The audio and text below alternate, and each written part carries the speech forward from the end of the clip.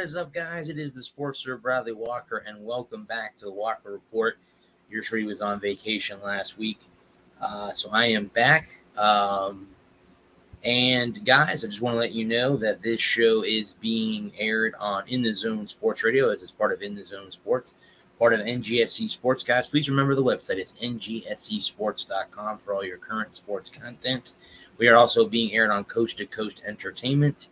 And guys, we are sponsored by creatingzenspaces.com and is the local choice in St. Petersburg, Florida for house cleaning, organization, decluttering, and pet sitting. It's about finding the peace within you, adding comfort to your life. And guys, remember, Zen Spaces begins with you. Be kind to yourself and one another.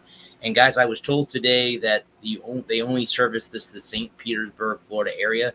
Uh, the Clearwater and Tampa areas at the present time are too far away uh, for her. So she wanted me to let you guys know that it's just servicing the um, St. Petersburg area uh, of that. Guys, real quick, uh, I'm going to bring on my co host, Lewis. Good evening, sir. Good evening, Bradley. Uh, just real quick, I don't know if you guys know or following a local story here in the state of Florida. Uh, there was a couple, um, a young couple, a young lady was killed. Uh, the guy that did the murder, Brian Laundrie, has been confirmed dead by the FBI. Yes. Uh, Gabby, I think her name was Gabby. I can't remember her last name off the top of my head, but yeah, she's she's uh, from my area actually, from Long Island. Yeah, they confirmed that, that he died. So two young people, very very young, that should not have died the way that they did, and obviously he. Uh, we don't know what's gonna. We don't know what happened to her now that he died. So there's no. I don't know what, who did what or what they did, but non-sports related. I wanted to report that I just saw that on YouTube before I got on here. Uh, and being that it happened here in my state, I wanted to kind of let people know, of course, uh, locally what is going on. Uh, like I said, guys, I was on vacation last week. Um, uh, where baseball is almost at the World Series wrapping up. The Astros could clinch the uh, pennant tomorrow. The Braves could clinch tonight in Los Angeles yeah. at Chavez Ravine. Um, so we'll have to wait and see on that. Uh, basketball has started up the NBA. Thank God. Their season. Uh, we'll talk about the WNBA. Congratulations to the Chicago Sky mm-hmm. on their first ever WNBA championship. Um, so there's been a lot of stuff since I since I was on vacation last week, and and I had a hiccup yesterday on one of my on one of my sites. Uh oh, what happened, Lewis? Go ahead. Well, for some reason, there's an occasional hiccup that my Facebook pages get um, okay. it, it's happened before. And the thing is, when that happens, you got to wait 24 hours for it to come back. Wow. Okay. I don't, know why, I don't know why it does it, but for some reason, every few months, the page goes out of order. Uh, and, and the notes get out of order too, because I did it in advance. You know, I do my notes in advance, and it comes right. up, you know, in order. It went out of order. I'm like, okay, it's going to happen again. I know it's going to happen again. It's going to happen, like you know, about Tuesday. Like, okay, so when this happens, I got to wait 24 hours for it to come back. So I had to go to a substitute site, which uh, is pretty uh, screwy. But uh, I can say screwy this show, right?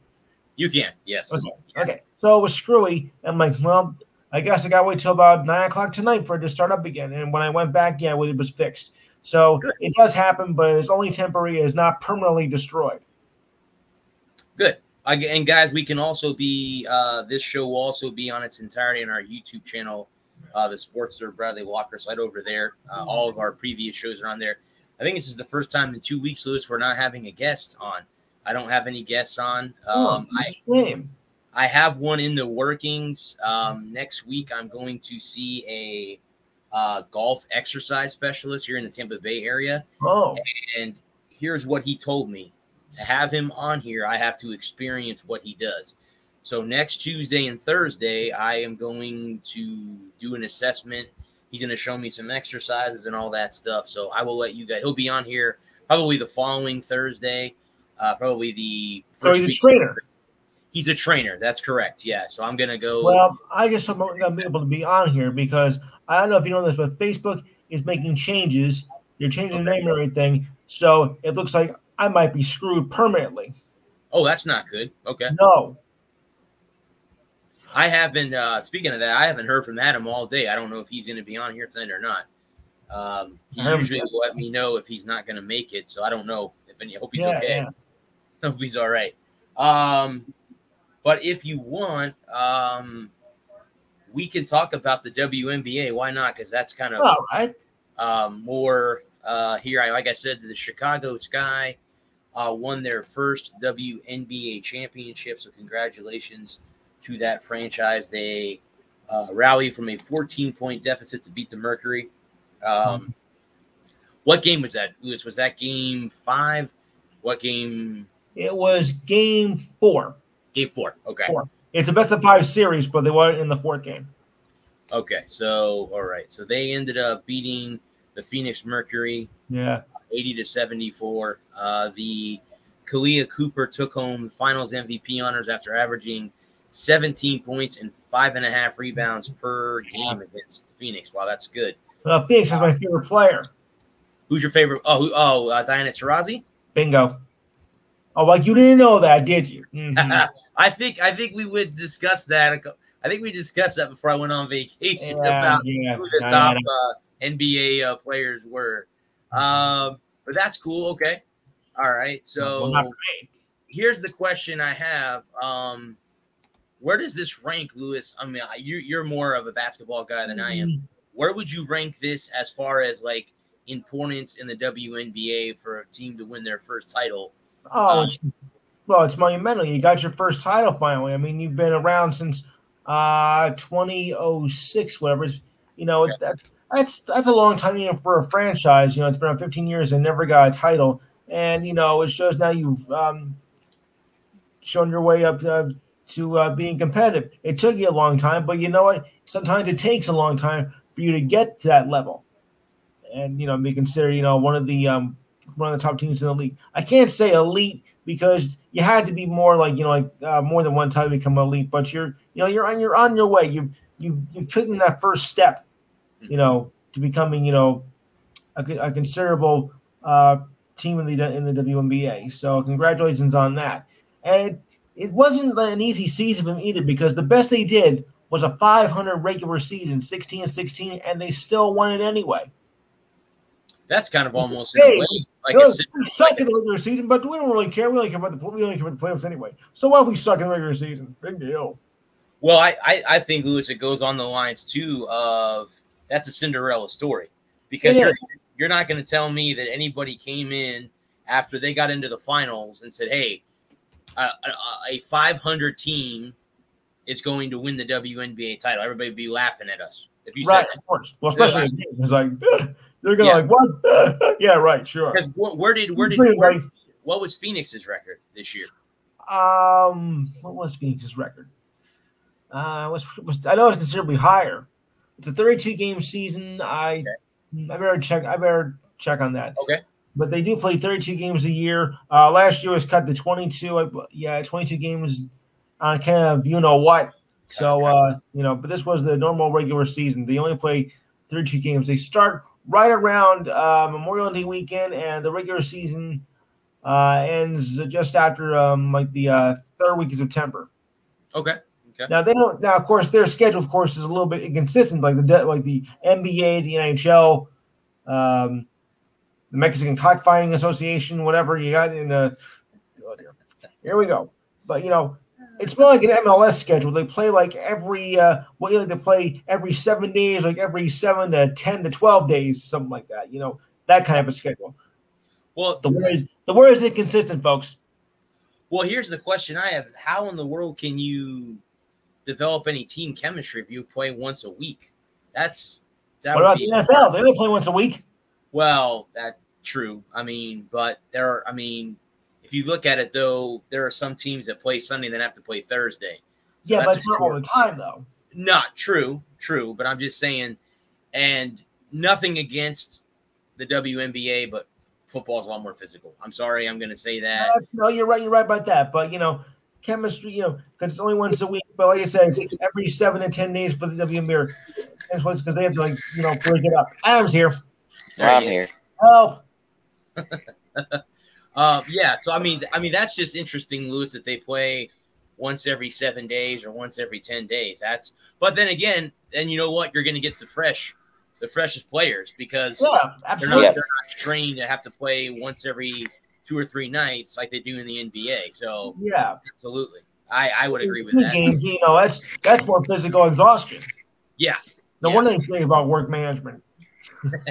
Load, yeah, load No, I don't management. know. Although I can't say that you know full load management because look at baseball. They don't consider that full load management. They play 100, 190,000 games a year. So uh, that's not workload management. They play six, seven days a week. So Yeah. uh, you know who's got the real work management? Thank you very much.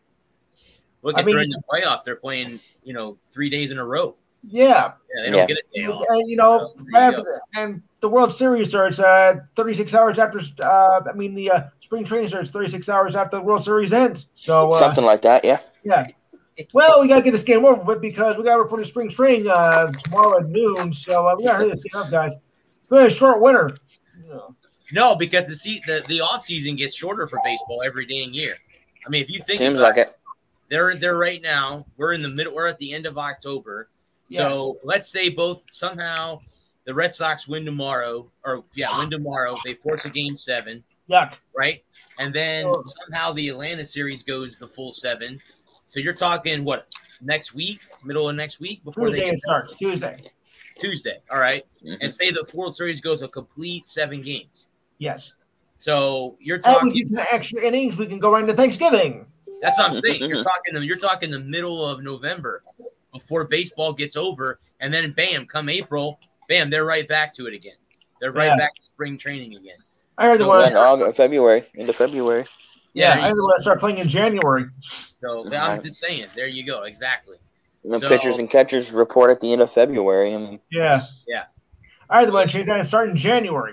and yeah. that's if you don't play any winter ball. Yeah. No, they're gonna screw winter ball. They're gonna go right. They're gonna go right from you know. It's completely nonstop. We're gonna play 250 games a year. Uh, we're gonna cut the spring training down to a week, and uh, you know we're gonna go right in like about say uh, Thanksgiving or into the first weekend of December. You know, like Yeah, right. it's gonna be a lot. It's gonna be a lot more generate uh, generate money for us If and only if they come to a new CBA. So let's put it if that it's way. right. If yeah, that's the biggest if in the. That would be the. Uh, I F. if they begin. that would be the elephant in the room, wouldn't it? It's a money Yeah. yeah. Sweet. All right, Yeah. let me see if I can do this. So we'll flip to the NBA since we're on the basketball topic. Oh, Um, last night in New York. In New York, game next the next one in double overtime. I saw that over the Yeah. Celtics. Yeah, I saw that. Ah, Yeah. How big of an impact is it that Kyrie Irving is not playing this year, or is out, or whatever, however long? You know, I think it's going to help the Nets better because it's going to be less of a distraction with him off the court. Because with him and his with his griping and whatnot, like, oh, I'm not going to get the vaccine. Like, well, I don't really care. You should though. But he's going Right. to drag all the he would drag all the drama in. You know, the team is going to be upset. Fans are going to be upset. I'm going to be upset, and so forth. So I think sometimes it's best that if you don't have a uh, quote unquote troublemaker, or what do you want to call it, on the court because it's only going to create more drama and it's to cause a problem for the team. And you won't see a 50 game win season this year. Probably if I look about a 10 game winning season this year, we would suck. Yeah. So it's best to get rid of the garbage and just concentrate the game with the players who are playing instead of the troublemakers. Like, well, mm, if I can help some- some from Drake, maybe that can help me out and render my decision of going back in. Like, you know, you get you get the point. Though. So, he's been a problem, and he's only continuing. Yeah. He's laying, he's laying himself down. He's laying the fans down too. And of course, speaking of troublemakers, you got uh, you know uh, Simmons. For, yeah, there's another guy. There's another one too. Uh, Yep. he's, Right. a, whack. He's a whack job. Well, here's the thing. Let's say let's say that somehow he does come back to play for Philadelphia. And I know it's a long- Why he doesn't want to play? So he comes back, and the first night he he's there at the Oops. Wells Fargo Center there in Philadelphia, wherever the Sixers play, and you know they they introduce Joel Embiid, and then he they introduce him second. They're they're gonna boo him. The, Oh, of course. Are you kidding me? They're gonna boo him. They're gonna boo they're gonna pee on him. Not boom. And I mean, guys, just real quick, if you guys don't know out there, the WN or excuse me, the NBA is celebrating their 75th anniversary. This is Wow. the 75th season of NBA basketball. Right. I think they're going through the top 75 players in history. I think is Yes. What I heard. Um, I have I haven't looked at the list. I have no idea, but this is the 75th anniversary. of NBA basketball. Do they have a list out? Yeah, I they, I saw one earlier. Okay. Ah, I'll bring up a Maestro Yeah. Saturday then. The all your usual suspects were there. What'd you do? All the usual suspects. You said you, were, you said you're suspects. I mean, what did you do? Yuck, yuck, yuck, yuck, yuck, yuck. Well, again, it's it's, it's early in the season. I, I saw that the Warriors uh, did a good job to LeBron and company in uh, Los Angeles the other night too. Yeah. So it is early. Obviously, the season just started. right. Uh, Yeah, but um, Westbrook, you know, wasn't too happy about you know the outcome, and he was taking it pretty hard himself. But you know, LeBron's like, hey, hey, look, don't worry about it. Look, you have one game. It's you know your first day here. Was look, the first game of the season is not going to make or break a team. No, it really can't. You know, yeah, every time, like, oh well, we lost the first game. Oh, this is going to be a horrible season. We're gonna we're gonna be we're gonna be terrible. Oh, uh, you know, say the Lakers. Oh, they lost the first game. There's no way they're gonna compete this year. People, the first game is trying to get is trying to get adjusted. It is not going to kill you if you lose. If you lost 30 games during the season, then you- yeah, that's probably going to kill you pretty much. But the first game, no, don't worry, no, don't worry about it. Don't blame yourself. Don't be so hard on yourself. I happen to agree with LeBron this one for once. You know, Yeah, brush it off, brush it off. You're gonna you're gonna lose a game or two, so no Well, reason. to- I mean, I mean, you're you. what, They have an 82 game season. I don't Yeah. think one's going to matter. I now No. I know I know Russell Russell. You know he's an emotional player. I watched Yeah. about him on HBO. He's an emotional guy, so obviously um, he takes things a lot more serious than a lot of players do. And Hmm, I'm not saying it's bad that they don't take it serious. If you're an NBA player, you're getting paid right. millions of dollars to play a game that you love. I, I hope you love it. I mean, I don't. But Right. at the same I time, think you know, at the same time, you can't let your emotions get the best of you either. true. Very Yeah. true. Very true. I was gonna say, you know, there's a fine line between being emotional, you know, and caring, and being a sore loser, Yes. not being able to handle losing. Lose. Yeah. You know, I think that, that that separates the greats from the good from the greats is the ability to handle losing, because if you can't handle lo- you're gonna do a lot more losing than you are winning through the course of your career, Yep. and Right. it's how you handle losing that defines you as a player.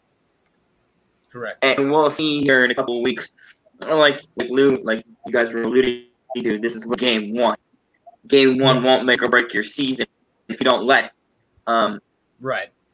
one loss doesn't doesn't doesn't matter, but um, if you get you know if you're too hard on yourself, and I think Westbrook can be one of those guys that's just too damn hard on himself, Yeah. and, and he, he thinks that every shot needs to go in, and and Uh-huh. he's he's been defensively inconsistent throughout his career, but definitely definitely believes that every shot should go in, and feels like a failure if he misses a shot. And I think that's really can he work with LeBron? How is that dynamic? How is that relationship going to evolve over the next 81 games? Mhm. Ooh, he gave that ball a rod. That ball is crushed.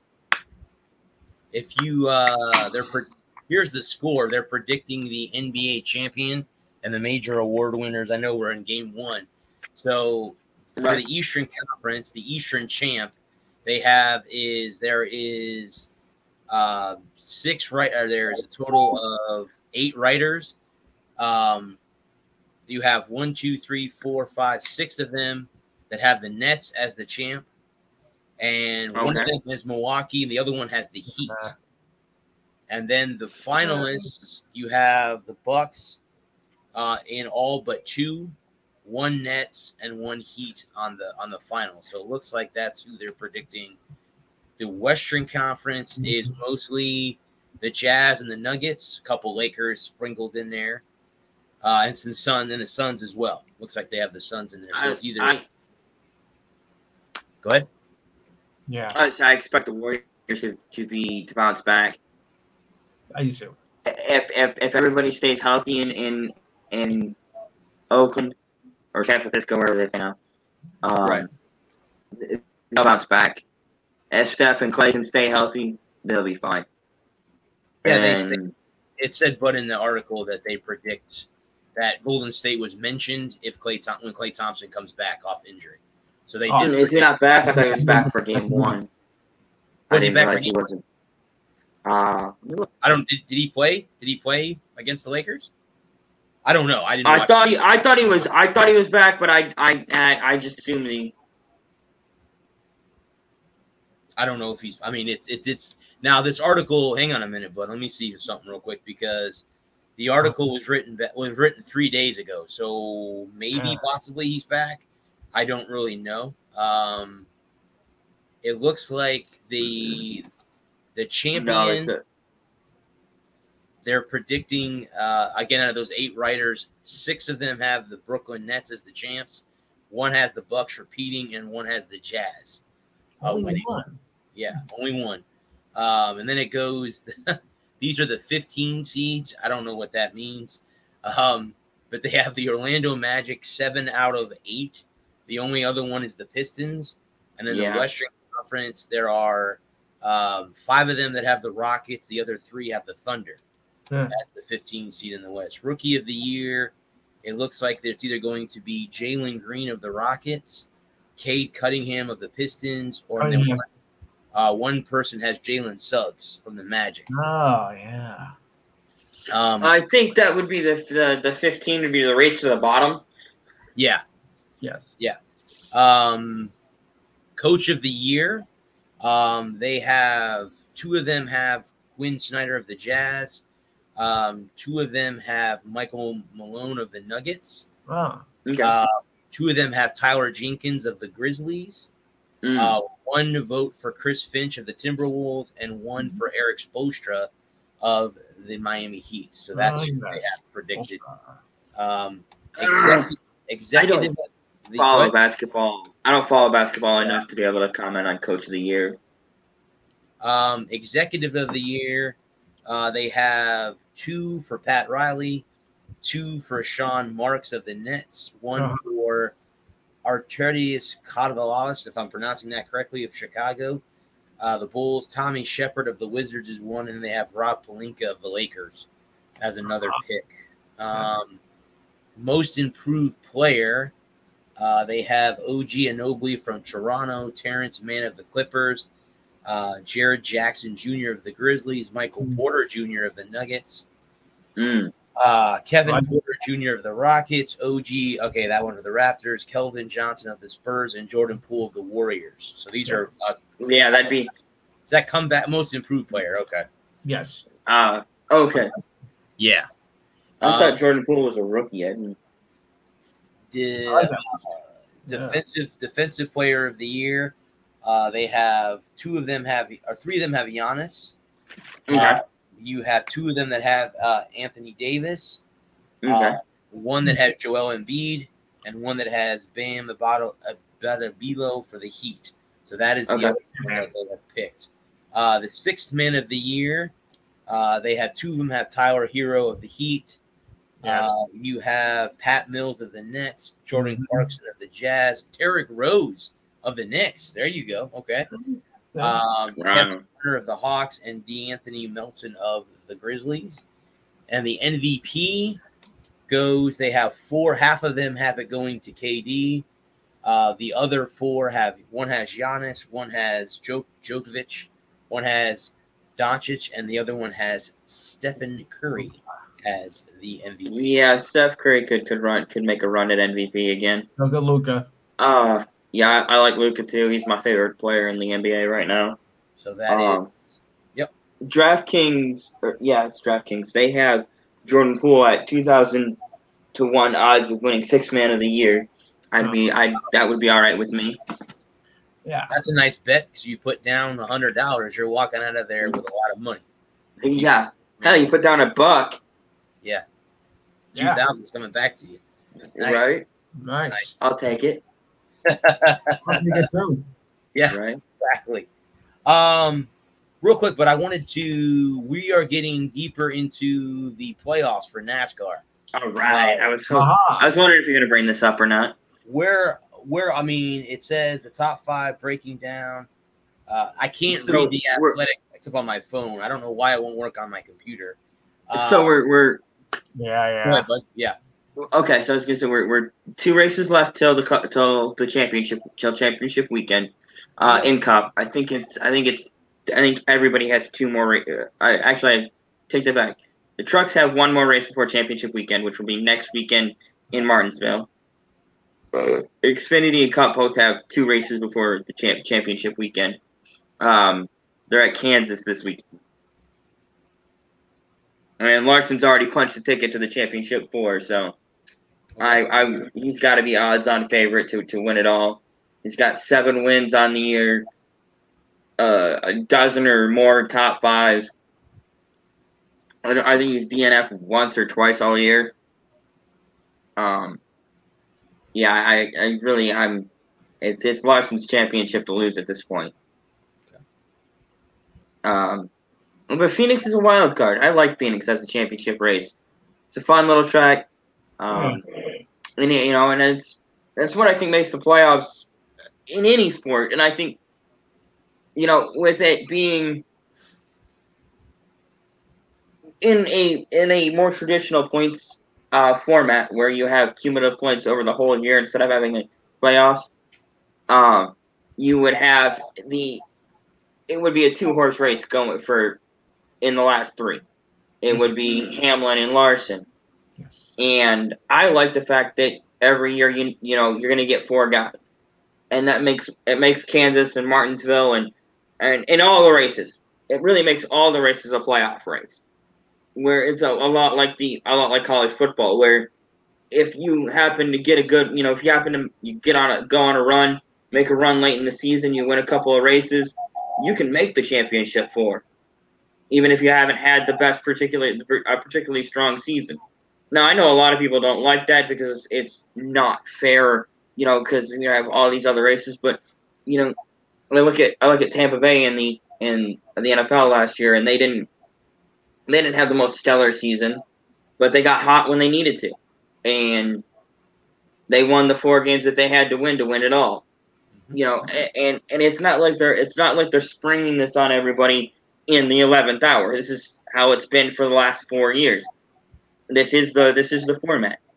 And it's with stage racing and the fact that you can get point you can accumulate points throughout the race it, it means it makes hitting the setup and you know hope and go next year it'll be even better. And it was it was in 2019 it was really it was a lot of fun because if you hit the setup in qualifying and you have a good car in qualifying you have a good car in the race you you can get points early in the race which can help you make up ground uh, whereas before, if you even if you had a good car early in the race, you were just riding for how many ever miles till like the last fifty miles. You run hard after a caution, run hard after a car. You know, if there was a caution, but you could go long stretches. You could go hundred. You know, a place like Kansas, for example, which we're going to this weekend. You go two fuel runs without in between cautions. You could go 110, 120, 130 laps without a caution, and everybody's just riding because you can't because there's because you can't pass. Mhm. You know, if if you because of the dirty air, you you get up behind somebody and you get stuck behind them and you can't pass. And if your car's not on, you know if you if you miss the setup, if you're a tenth off after four laps, you're over second behind whoever's in front of you and whoever's behind you is catching you and it gives you a little bit more strategy to work with. Um, did you want to get into the Kevin Harvick, Chase Elliott Why not? issues? Go right again. Right Yeah, ahead. because Yeah, we didn't get because we didn't get into it. we had I didn't know anything about this, so you go right okay. ahead. You know So we it? didn't because we, didn't have a show after Bristol, and we didn't have a show after the Roval.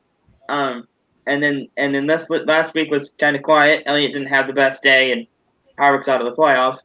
Um, so at Bristol, about thirty to go, they were racing for uh for the win for the lead, and Elliott had the best car all night, and Harvick was um.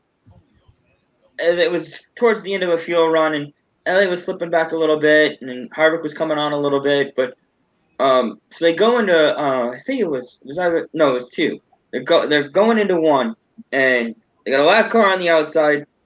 Elliott's in the middle, Harvick's down low, and Harvick pinched Elliott up behind the lap car, Elliott turned down to go around the lap car, and Harvick came up and just run Elliott right up to the wall and cut his uh, left front tire.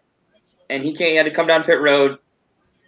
Ended up falling up, falling two laps down, came but came back out in front of Harvick, and slowed him down a little bit. Slowed him down just enough that Larson was able to catch him, who was Elliott's teammate, um, and was able to catch and pass him. So then, I forget where they went. Oh, it was Talladega was the week after Bristol, and nothing happened. At the Talladega ended up being rain shortened. Bubba Wallace got his first win um, at Talladega. Ironically enough, after the fiasco that Talladega was last year for Right. Bubba Wallace.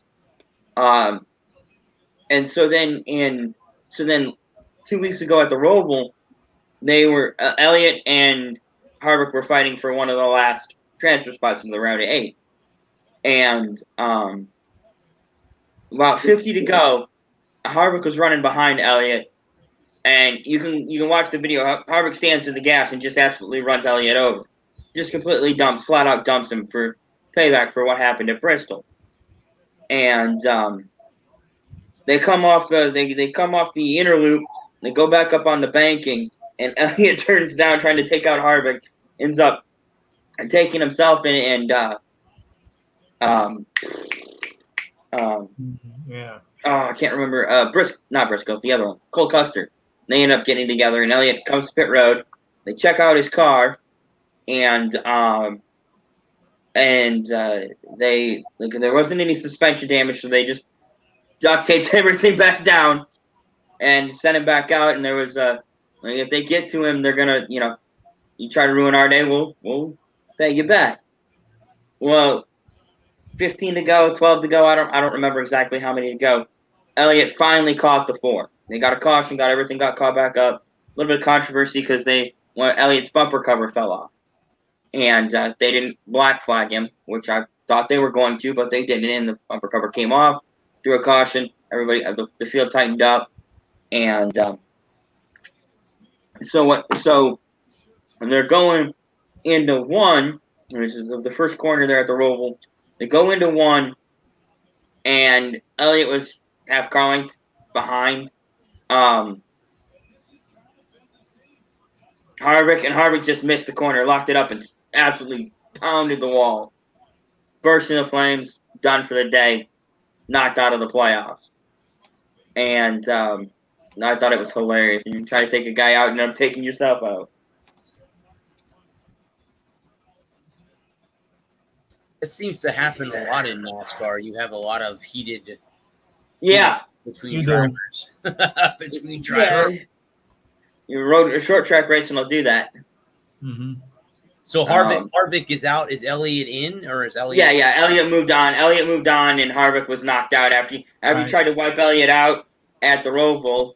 Elliott's team got his car back, patched up enough to be able to keep going, and they end up coming home 12th. And um, Harvick wasn't able to continue after pounding the, the, the turn one wall. He absolutely destroyed his car. He, Elliott, they, they both got hard on the binders, and um, Elliott got off it early enough when he was able to roll the corner. Is and Harvick didn't get off it soon enough, and when and he he just ended up going straight out into the into the turn one wall, just destroyed his car. See what revenge gets you guys. Don't do it. All right, Right. right. Don't do it. Well, I mean, that's interesting now that, you know, there you have that. Um, last night, but there's a, I don't know if there's a Cheddar's in, in, there's a restaurant called Cheddar's here in Florida. I don't know if it's in Tennessee or in New Jersey, but I don't think so. I have, I got a cup, last, a plastic cup. They're doing, um, it, well, it's uh, junior and senior, Dale Earnhardt Jr. dinner. It's on the cup, and I got the cup. I, it's being washed. Or I would hang on a second. Hang on, man. I'll go get it real quick. Hang on, man. They used to have cheddars, right? Yeah, yeah, yeah. Hang on, man. Yeah, I, I'm a Cheddar's around here. Yeah, we have something called checkers. I didn't think that that's what he meant. No, uh, checkers, checkers. Well, it's called checkers. Yeah, now. check. I know it's called rallies in certain areas. Yeah, uh-huh. rallies, checkers. Here's the I have now my green screen. Nice. Nice. Mm-hmm. Uh, hang on a minute, guys. Let me see if I can get my green screen to. There we go. Oh yeah, yeah. Cooperate. See if I can. okay, cool. Here's yeah, the that's cup. really cool. Uh, I'm trying to get it Senior to where you can Wranglers. see the numbers. Oh yeah, there. that's cool. Um, I believe this is Richard Childress, who I guess owned both Yeah. cars. I think he still does till this day. Uh huh. He But yeah. uh, owned. He owned Senior's car. He never owned the eight. Okay. Sen- Senior owned the eight. DEI was Dale's. Dale's baby. Okay. Yeah. And then when he, so what happened is that in '95, he decided this was in the late '90s. Decided he wanted to start his own team because he never wanted his kids to struggle the way he struggled coming up. And so he's like, well, I'm just gonna do it myself. And so he started the started DEI, and he started with Steve Park, and um, they had limited success. They they were you know an upcoming program. They were new. They were they were struggling. And in 01, eh, this winner uh, winner of 2000, you wins that race at Talladega in 2000. You know, 18th to first and, and two laps, and um, so they go. It, it was him and Ty Norris and the people from Napa, and they're they're talking. You know, and they're, they're you know business meetings whatnot. And they're talking, and they get the Napa people to sign on for I think it was like 10 million dollars. Ten million dollars a year, I think was was the, the number they ended up settling on. And they're like, "Who are you gonna get to drive for us? Who are you gonna get to drive for us?" And it's like, "I'm gonna get Michael Waltrip to drive for you." Like, Michael Waltrip? Like, yeah, Michael's a good driver. I'm gonna go get him. So he, he calls Michael, and they've been friends for a while. And he called Michael up, and he's like, "You gonna come drive the number 15 Napa car for me?" Like, yeah, of course. And um, so and then he gets Budweiser to come on and sponsor Dale Jr. And then they put that team together and they they're absolutely dominant, dominate speed weeks, you know. And um, they they go out and they're uh, it's you know five to go. It's DEI one two and senior three, and Right. you all know the story. What happens next?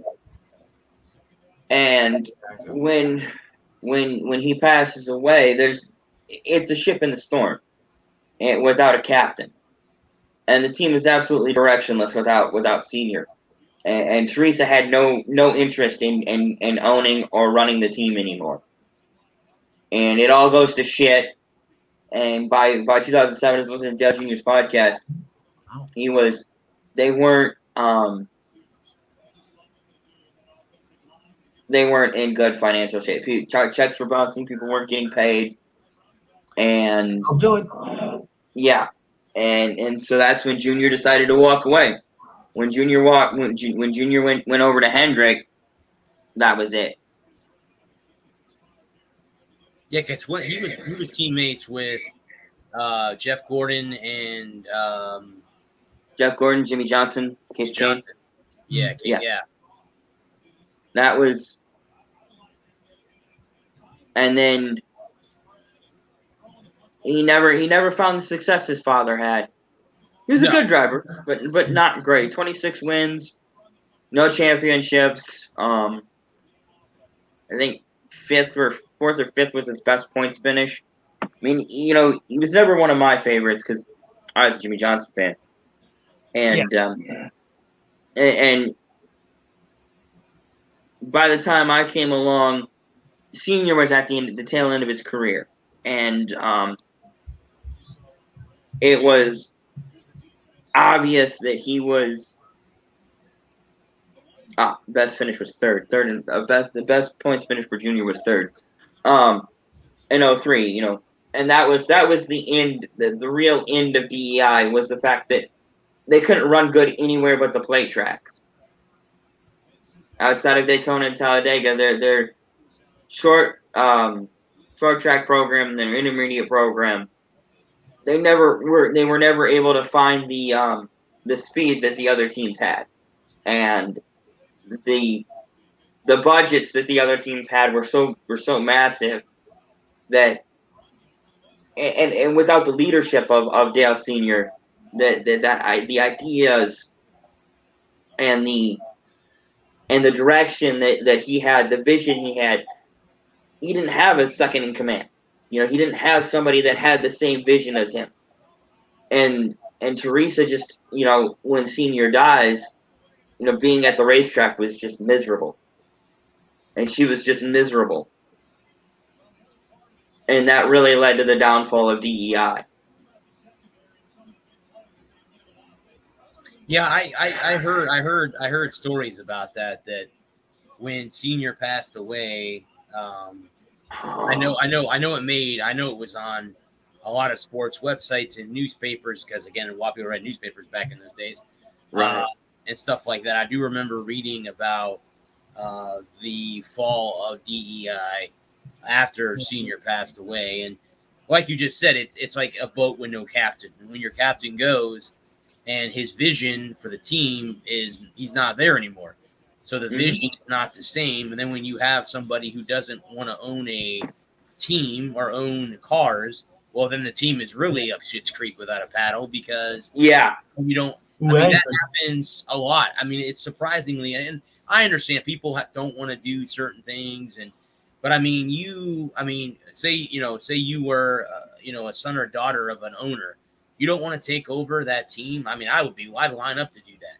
But then again, I'm a Right. sports guy. Not everybody's a sports fan. Not every Right. there Correct. is a football fan. And and then football team. So yeah, it, it just depends.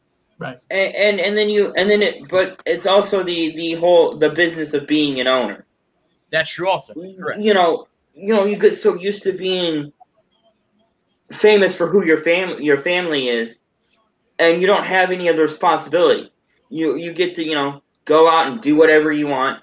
You know you, you ride on mommy and daddy's money. Right. and you get to do whatever you want whenever you want or you know even or, or a spouse you know. You're so used to just the everyday grind of just being the spouse. And then when all of that falls in your lap and it's managing the people managing the money managing your time and you have to deal with the fact that you you're now you're the one making all the calls you're the one that's making all the decisions Mhm. and your heart just isn't in it, you know, it, it can be very, you know, especially to lose your to lose someone like that in that way. hmm You know, when you when you plan for five years, okay, we're gonna do this, we're gonna do this, we're gonna do this, we're gonna do this, and then that, you know, it it it, it becomes daunting, especially when you're when everybody expects you to figure it out and have it all figured out. You, you show up on in the office on Monday after a bad week at the racetrack, and you got three junk cars or two junk cars, Mhm. and and and, uh, you know one you got one guy who's who's decent and two junk race cars, and the Napa people are calling, and the Pennzoil people are calling, and like, where's our results? We're not making any money. We're we're we're spending more money on buying you guys new race cars every week, or we're spending more money on on repairing race cars than we are getting ready for next week. And you just get overwhelmed because you just don't you don't and you stop taking calls and you become a recluse and you shut yourself in your office and you won't talk to your drivers and you won't talk to the team and you're constantly firing people and hiring people and, and shuffling and trying to trying to make it work and it's just not working and so you shut down because everybody was expecting senior you know he he's gonna run a couple more years and he's gonna go off into the sunset because he was he's fixing to be 50 and you know his best years were behind him.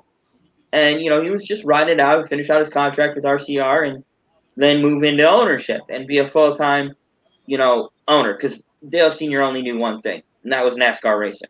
And and and and motorsports you know he lived his life for motorsports and you know nobody had a plan for well what if dale's not here? You know? What what if what if something happens to dale and he you know he's not here? Nobody had a plan. Nobody had a plan for for dale being gone. Nobody had a plan for the next step without without senior because you know they you know in, in a you know he was a warrior, he was a gladiator.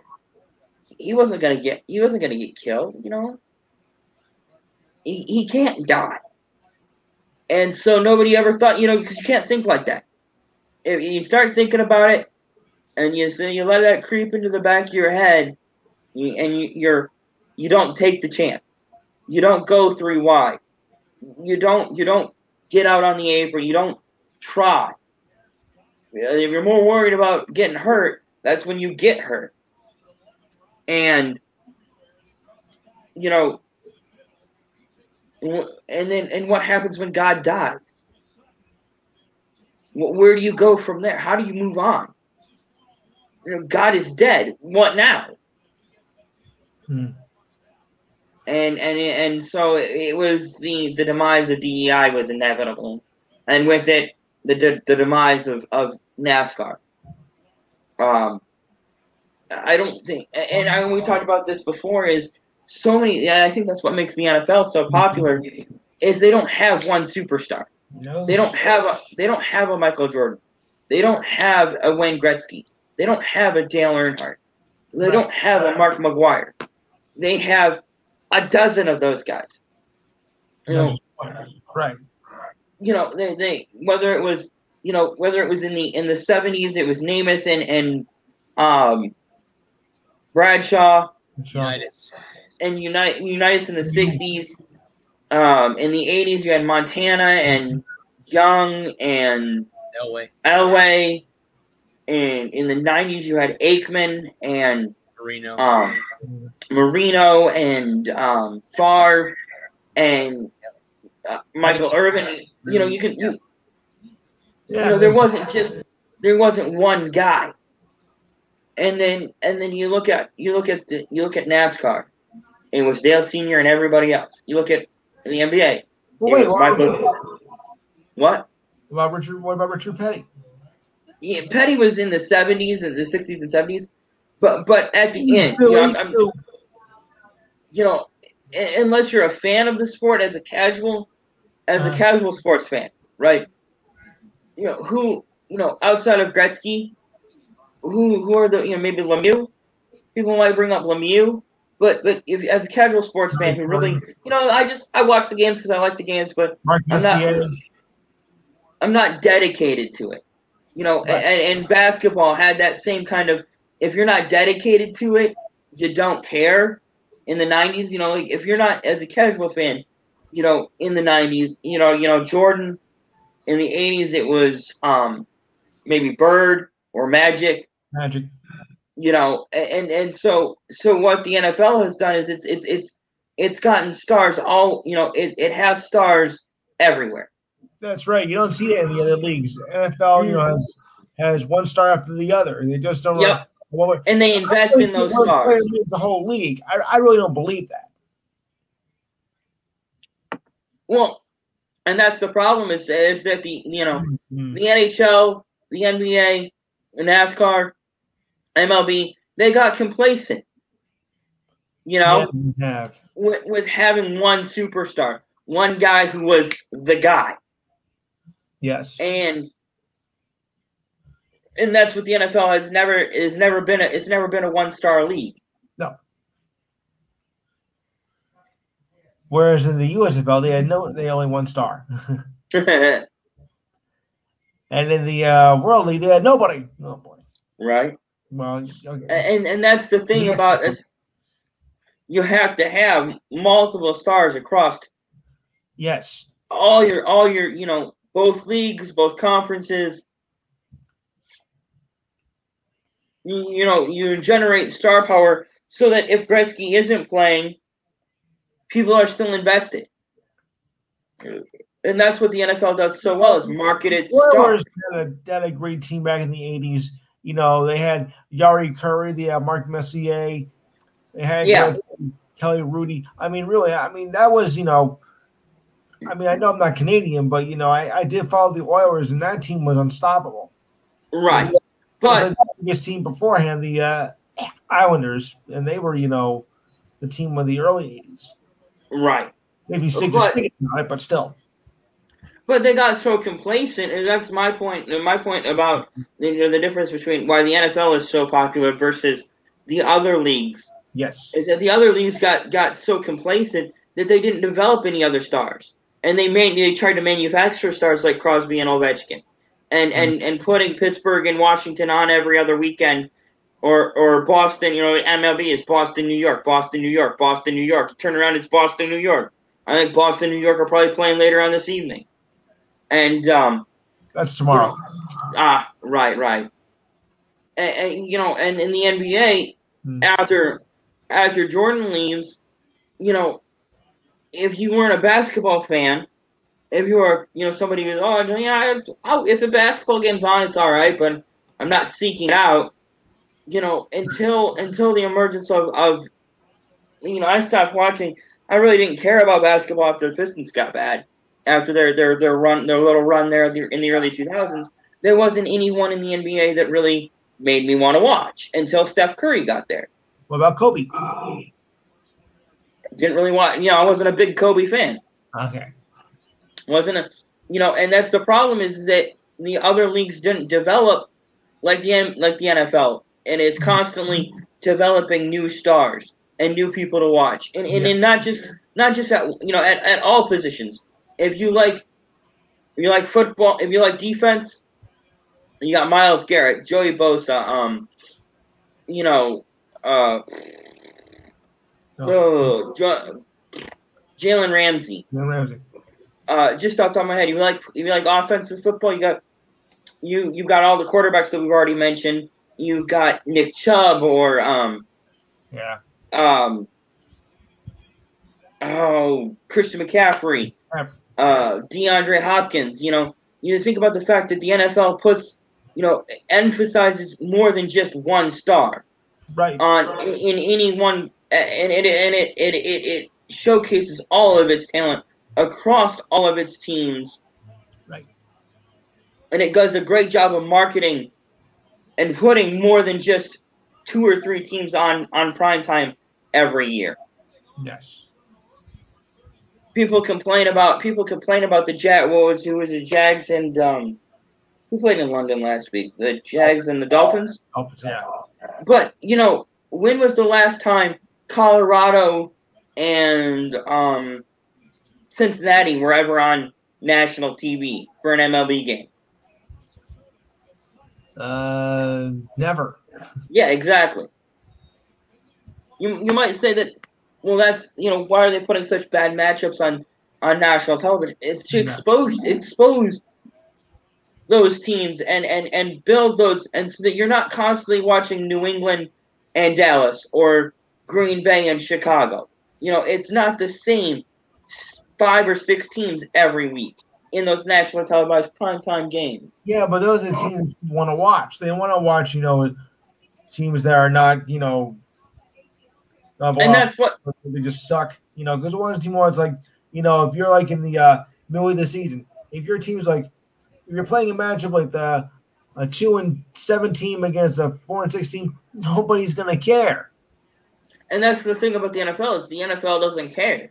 Is the NFL knows that they have to expose you to those teams, because if you're not if you're the casual fan, it, you know you have to capture every fan. You have to you have to showcase every team every week. You know, and you have to you can't just show the be- you don't because you don't know who's going to be good every year. You don't No. know that game last weekend, the game in London, the the Jags and uh, Dolphins was a pretty good football game. It was.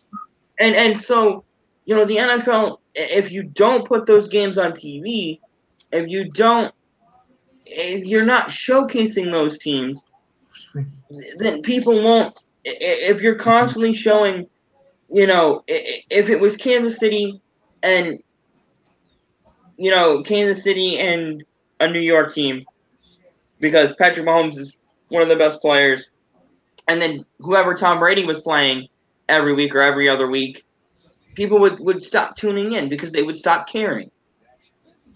Yeah. And I think that's what I think that's the problem is that the that's what makes NFL football so um is the fact that they have stars across their league that they can showcase on a week to week basis. They and they've developed those stars. People care about those stars, no matter whether the team's good or bad, people still care about who are their their their their the the the players on even the worst team because they've developed those that relationship with their fans. Yes. Speaking of the NFL, you want to get into the Jon Gruden? Uh, Uh, do we have to? Come on, we're gonna get rid of him anyway. Yeah. I find it what I find interesting is the fact that Gruden was the only one with dirty emails. Yeah. I I that I, I- think okay, but I, I'm gonna stop you real quick there. My boss actually brought that up to me today. Why is it that the NFL only released his emails? Because you know he's not the only one. Bruce Allen's got him. He's not the only one. Right. So I think what it is is the NFL is going to leak it person by person. You're going to from have what I people come from out. what I from what I had heard is that Gruden was the only one with dirty that email. everyone else was clear. That's what I heard. Uh-huh. I don't know. I I think that you know I mean, it, it all stems around that lovely owner that they have in Washington. So let's Yeah. with that. yeah Daniel Snyder. Uh, that, that's kind of the that's the politics and and and the non-sports stuff that I really don't care to get into. That that for me is where I I draw the line. You know, that's too much. That's too much of the the, the politics that that I don't that when I tune into NFL or when I tune into sports sports talk radio or sports radio in general, not just or uh, sports programming. That it's that's just too much. It's just too much politics. Yes. Eh, eh, that's the stuff that that I don't It doesn't go well. It doesn't go well. I don't care for it. I don't care to talk about it. You know, if the league felt that that was, you know, that he's a he's a grown ass man, he's gonna have to deal with the consequences of his actions, and that's that's all I have to say on the matter because um, i- it's all that po- politically adjacent bullshit that I don't care about. Well, here's the Um, thing that I have real quick. Okay, go ahead. These are emails from 2011. Mm. Why 10 years later do you bring it up to par now? Should have been brought back in 2012 or 2013. Why Or, are or we to the 10 years later Yeah. to bring all yeah, this stuff up? That tells me that somebody wanted Jon Gruden out in Las Vegas. Yeah. Vegas. Yep. And they're like, okay, let's go dig and find some dirt on him. Guess Yeah. what? We found it.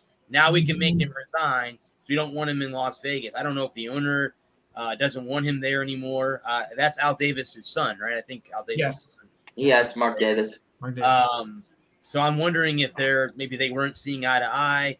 Maybe it has something to do with the G, general manager and Right. Not seeing eye to eye. I don't. I mean, I don't know. John. Yeah, I don't know either. an Egomaniac anyway. Yeah, Um, Yes. Here's the funny thing: I'm going to the USF game in two days on Saturday. They Okay. took his name out of the Ring of Honor for the Bucs, right. So I'm gonna go see what I'm gonna go see what it looks like now that his name is not up there anymore. was Right. that the Hall of Fame was the Hall of Shame. I, Right. Yeah, I, I mean, I don't, I, I don't really know. Um, but if you guys want to, we can go back since we're on the NFL. Do you guys Yeah. want to go back through last week's games and kind of comment? Yeah, on- yeah. Recap. Yeah. We can go ahead and Yeah, go this week's games with the lines Yeah. like we normally do. Sounds Uh, good to me. Looks like the Braves are up two to nothing in the Yeah, Freeman hit an absolute Ah. monster shot. two to one, two to one in the bottom of the second. Who hit it? Freddie Freeman. Yeah, Freddie absolute Freeman. monster shot. Yeah. Two to. Two I uh. I got a lot of friends here in the uh, that are huge Braves fans, so they're going crazy. I would uh, I would love to see Atlanta move on to the World Series. In all honesty, I want it in. I want. I want an Atlanta uh, Boston World Series. Uh, the, the Red Sox got to come up with some magic tomorrow night. Who I hope I know. Is it? Is that a three-two season? Is it, that's three-two now, isn't it, Three Houston? two, yeah. Houston, if Houston Yeah. over, I, I fell. I fell asleep the other night watching. Um, watching the. I think it was game four. It was Boston and it was two-two going into the ninth. I fell asleep. I, And then the wheelbarrow fell right off. huh? yeah. Yep. Uh, yeah, I woke up. I woke up like 20 minutes later before I headed back to sleep. I know what the score was, and it was uh nine to two. Yeah, Yeah. how's that happen? Okay. Okay, I'm going back to bed. Good night, everyone. Two, from two, two to nine two. How, how does that happen? The Uh, top of the Astros order hit well. Altuve, Bregman, and um, Correa all Right. hit I- runs or all got on base and started the whole, you know, the domino effect. One guy gets yeah, the on, rally. and then the rally Get starts. So Get yeah, him on, get him over, get him in. Yep. Um, yeah. last we can week, get to him. last week, guys, we had the Bucs and Eagles. Um, I watched the game while I was on vacation because I, you know, the Bucs are on. Uh, they won 28-22. Uh, Brady. Yeah, that was disappointing. Um, the London game. The, Lon- I mean, go ahead. Why was it disappointing? Because the Bucs are my fantasy defense and they gave up 22 points. There you go. Um, Fair I enough. had, Fair enough. I had they had they had me 10 points and um and, and going into the fourth quarter I was like okay cool and then they gave up 12 and they got me 3 points last week but I did end up winning so it was all right though All right, so you know you got at least you got something out of it. Yeah, I did. I ended up I ended up winning, so it wasn't too bad. But then Baker Mayfield has to go and get himself hurt, and then Nick, and then Nick Chubb has to, Yeah, yeah. or Kareem Hunt has to go Well- get himself hurt, and so both my backup quarterback and one of my starting running backs is out this week. Well, and I- actually, right now they're up ten nothing over the uh, Broncos Mm-hmm. with Oh, Case Keenum. With Case Keenum Yeah. the quarterback. Yeah, I've been watching the hockey, Um, so I kind of flipping around. So the Jacksonville Jaguars end their 20 game losing streak with a 53 yard field goal. What a game that was! It was such a, that was a fun game to watch. It was a fun game to watch. It was, it was fun to get up at nine o'clock and watch a football game. Wake up. Uh oh. oh, I, I heard. Uh oh. Dodgers just took the lead three two. Oh no! I'll see it. Okay. All right. Um, the next game was um, the Packers beat the Bears 24-14. Of course, Aaron Rodgers doing I own Chicago after being flipped off by the Chicago Bears fans. And Sure, everyone you with guys the are Bears. Yeah, he Heard that- he, he the hot does. news. The he does the discount double check uh, celebration when he scores. Rodgers rate. Yeah. Rodgers rate. Anybody can get the Rodgers rate. And Rodgers, What you even mean me. anybody can- Yeah. Rodgers Uh, drive. right? Yeah. Um, the next game, the Bengals beat the Lions 34-11. Um, Joe Burrow Twice for team of the three touchdowns in a row. Um, I guess did I see that the Lions head coach cried after last week's A couple weeks ago, yeah. Yeah. A couple weeks ago now. Yeah. Um, And then they came out and laid an absolute egg. the Again. uh, Indianapolis Colts beat the? Texans 31 to 3. yeah. Um, the Deshaun Watson trade rumors are now heating up to him go to Miami. Uh, that Yeah. be the the the uh, upcoming thing. Uh, the Yeah. Rams beat the Giants 38 to 11. Um, the Chiefs beat the Washington football team 31 13. Uh, the Vikings beat the Panthers 34 28. I think Carolina's lost like three games in a row, or at least two out of Uh, three or four. Yeah. um, the Ravens I- I- crushed Los Angeles. I was surprised. at Chargers, yeah. the Chargers. Yeah, that was. I was definitely I that was not so I didn't see that one coming. Uh, I thought I thought the Chargers were going to be a threat. No, it's only one game. Yeah. we're talking about it's only one game. Still early, fairly early in the season. Uh, we're we're just past the quarter mark, so we're actually about halfway now. Yep. Um, Um, go ahead, bud. But you can afford one of those.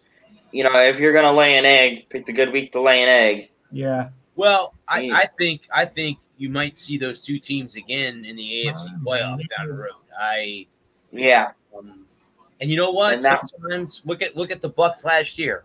They took Right. two, two ass kickings by the Saints. But you know when you beat them, right. the most important time in the Yep. playoffs. So if the You know, Chargers can rebound and say, "Hey, we got the plan to beat Baltimore," and that when it when it Yeah. counts, who cares? Right. They're not division opponents, so they won't see each other. we again. won't see each other again. Yep. But I'm just saying. I mean, you look last No, year. absolutely. They, when they what they you know they I remember Yep. the game that they play here in Tampa, Yeah. New Orleans kicked their asses right here in in in the Right. in the Bucs, you know, home. They And kicked them. They kicked their asses both times, both man. times. Yeah. Yeah, and it looked and they looked ugly. It was Yeah. ugly, and it was ugly early in both games. Yep. Yep. So and somehow, some way in the playoffs, they found the right, right combination. defensive scheme, and they scored enough touchdowns to take the Saints Yep. out. Yep. That's what I said going. I said that going into the into that game is because everybody was picking New Orleans. Like, nope, you don't keep Tom Brady down three times in a single season. Nope. Yeah. They Although fail on the way.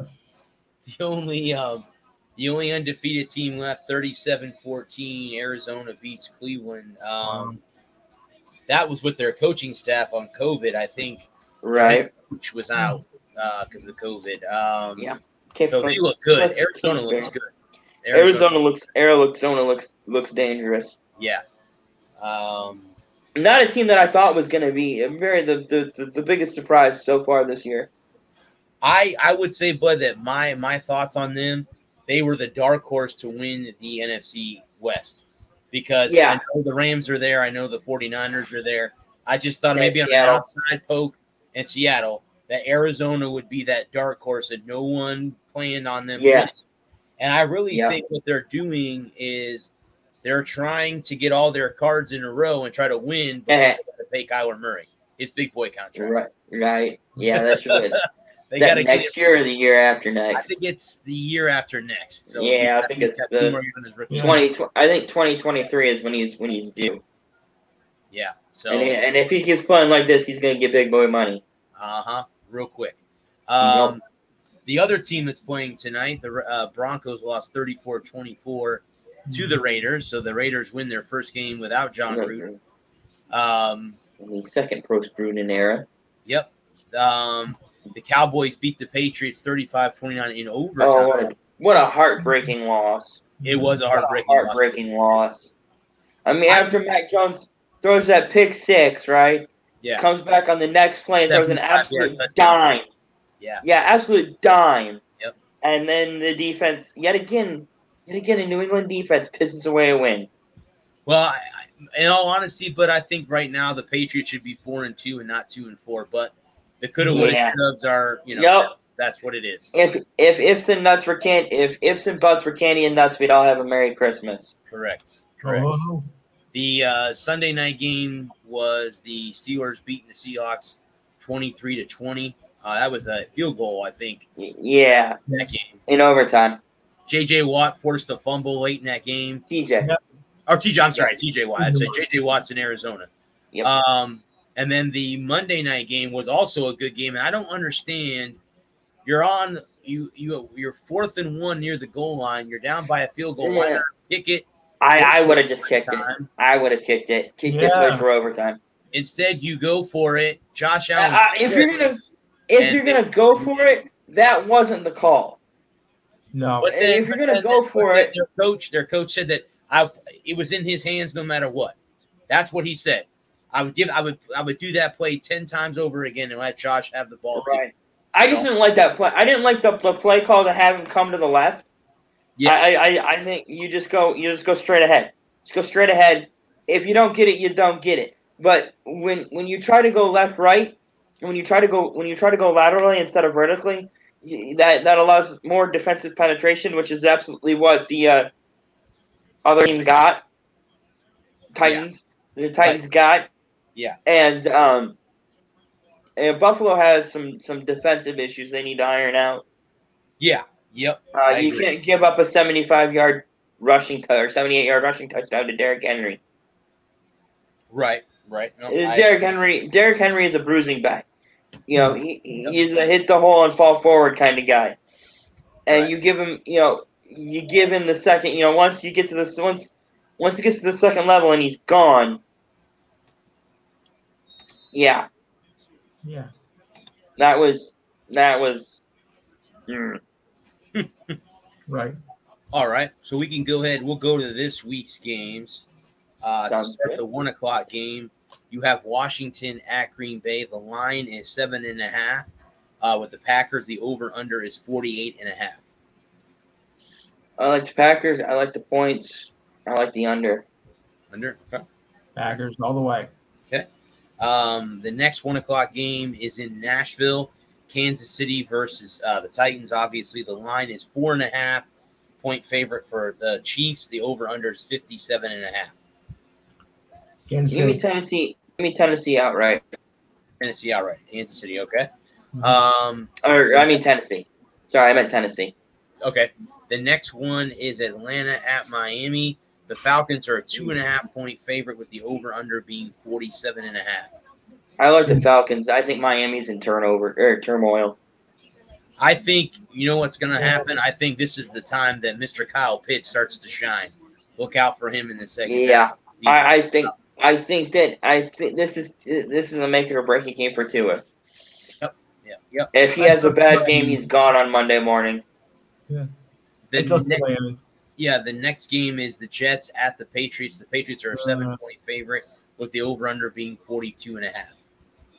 I like New England. I don't like. I think New England, but the Jets cover.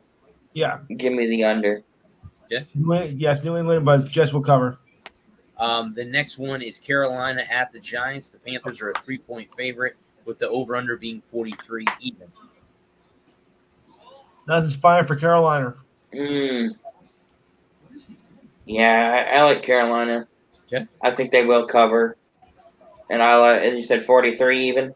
43 even is correct. Yeah. Oh, okay. Mm, I don't know if the Jets can score, or the Giants can score ten. Okay. Mm, I like. I like the under. All right. Um, the next game is Cincinnati at Baltimore. The line is six and a half, uh, favoring Baltimore. The over under is 46 and a half. I. That's That's my. Game. That's my upset special of the week. I like Cincinnati. Go No, into Baltimore and steal one. they are a surprise team this year. I mean, I didn't think Cincinnati was going to be this good. Everybody said I was stupid because I thought that taking Ja'Marr Chase was a better pick than taking Penei Sewell. But Everybody's like, no, that's a stupid pick. You, you, you- your quarterback got his knee absolutely destroyed last year. what do they know? offensive. Uh, not enough, apparently. Yeah. Uh, I like I like that pick because I thought you give you give Joe Burrow somebody to throw to.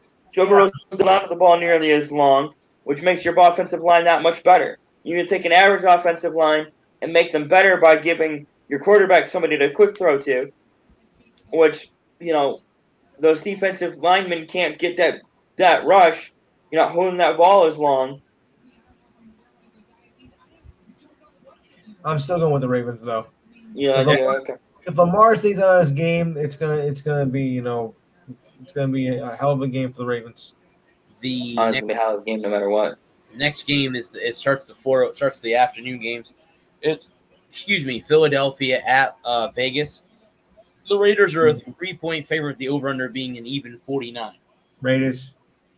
Uh, yeah, Raiders, but I think the Eagles will cover. I know three points is a lot to cover. Yeah, Um, the next such a game- tight line. the next game is the 0 and 6 Lions visiting the 5 and 1 Rams. So that means Matthew Stafford and Jared Yeah, Goff playing against their former teams. Yeah. Rams Right. are a 16 point favorite with the over Rams. 50 and a half. Give me the Rams, give me the points, and give me the over. Yeah. Stafford goes off, he throws six Rams. touchdowns. Okay. Stafford's gonna have a monster game. Right. Okay. Yeah. Um, the next game is Houston at the 6 and 0 Arizona Cardinals. The Cardinals are a 17 and a half point favorite with the over under being A 47. 17 and a half point favorite? 17 and a half points. Yeah. One seven? One seven. Holy shit! One seven. Holy shit! 17 and a half is the line. Holy shit! Um, Fine. that's where is it? Is it in Arizona? It's in Arizona. It's in Glendale. Okay. Yeah. Yeah, I, I definitely. That's a that's a lot of that. That's a what was the what was the over under? Over under is 47 and a half. Ooh. So to get to 47 and a half, both teams have to score a minimum of 24. I could see Arizona scoring 47 by themselves. yeah, I can see that too. it's So another re- you got another revenge game going on there Yep. with uh, Desha- JJ uh Watt. Carlos JJ JJ Watt. Watt and um the receiver there, Oh, um, J- uh, DeAndre Hopkins. Yeah. Hopkins, yeah. Oh yeah. Ah, God, that's a tough. I think that's the biggest I- line of this week. I think is that's I think that's that's one of the biggest lines I've seen in the NFL. Yes. I I, I like it though. I, I, I give me the give me the give me the Cardinals, give me the points, and uh, give me the over. Yeah. Yeah, yeah, I like it. That's that's gonna be that's a tall ask, but I think they can get it done. Yeah. Oh yeah. No That's question. crazy. Uh, That's crazy, man. the next um, game is Chicago at Tampa Bay. The Bucs are a 12 and a half point favorite with the over under being an even 47. Tampa. I like the Bucs. I think, mm, I think Chicago will cover. The Tampa Bay defense isn't as good as it Yeah. was last year. Um, and I like the uh, I like the over. Okay.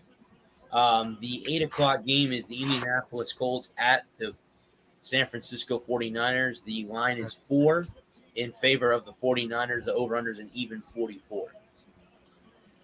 Both teams are atrocious, but I think I go with the 49ers though. Oof, depends on which Carson Wentz shows up. Well, would the real Yeah, Carson Wentz stand up? there you go. Yeah, I know, right? Just I kind of like the I kind of like the Cardinals or the Colts to go into San Francisco and steal one. You give me the Colts. Give me the Colts straight up.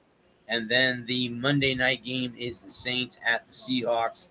The Saints are a four point, four and a half point favorite, with the over under being 42 and a half The Saints. Saints are a favorite on the road. on the road Wow, in Seattle. In Seattle. Yeah, I like the Saints. I like the points. And what was the what was the uh, over under? 42 and a half. Yeah, give me the over. All right. Fair enough. Okay. All right. I'm Uh, good with that. and that would be the NFL. Do you guys want to jump to college football, Let's do We it. can talk hockey or baseball before we get to college football? we can talk baseball. Yeah. MLB. Okay. I have a article here about the Rays who are now out of the playoffs. Um, here is an article written in what they call the TBT. It's a free newspaper that they that they show every week, and it the, the title of the article seeks Rays seek state funds. Uh, the Oh, Rays wow. potential move to a stadium in Ybor. Now, if you guys do not know Tampa, Tampa is there's a little uh, cove called Ybor City. Uh, Yeah. City is one of the oldest cities in Florida. It was around during when the uh, when the Cubans first came here. Uh, that they made the city what it is. Uh, there was a lot Uh, of crime going through here. That was a lot of the crime in Ybor. Uh, Ybor City is a um, what you might call a nightclub city. A lot of nightclubs there, a lot of crime there. That's what it is. But anyway, Mhm. a long story short, it says Florida Senate President Wilton Simpson says the Rays representative spoke to him about a month ago about an unspecified stadium site in Ybor and the likelihood that the state aid would be needed for infrastructure costs because Stu Sternberg is an asshole and doesn't want to pay for anything. I didn't Right. say that out loud, did I? I'm sorry, I did say that out loud. yeah, I think you did. Uh, Yeah. well, no, no chance to get him on the show anytime soon. Uh, to access the the work includes making access to Ybor City uh, easier via a sixty-six point eight million dollar project to build a new I four exit ramp. Now, what the biggest complaint before we get into baseball talk is Sure.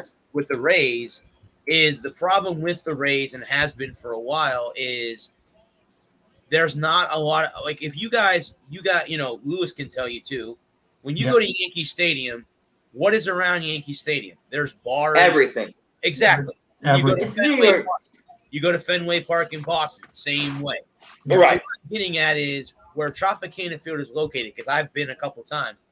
You have to go a mile and a half to get to anything in downtown St. Pete.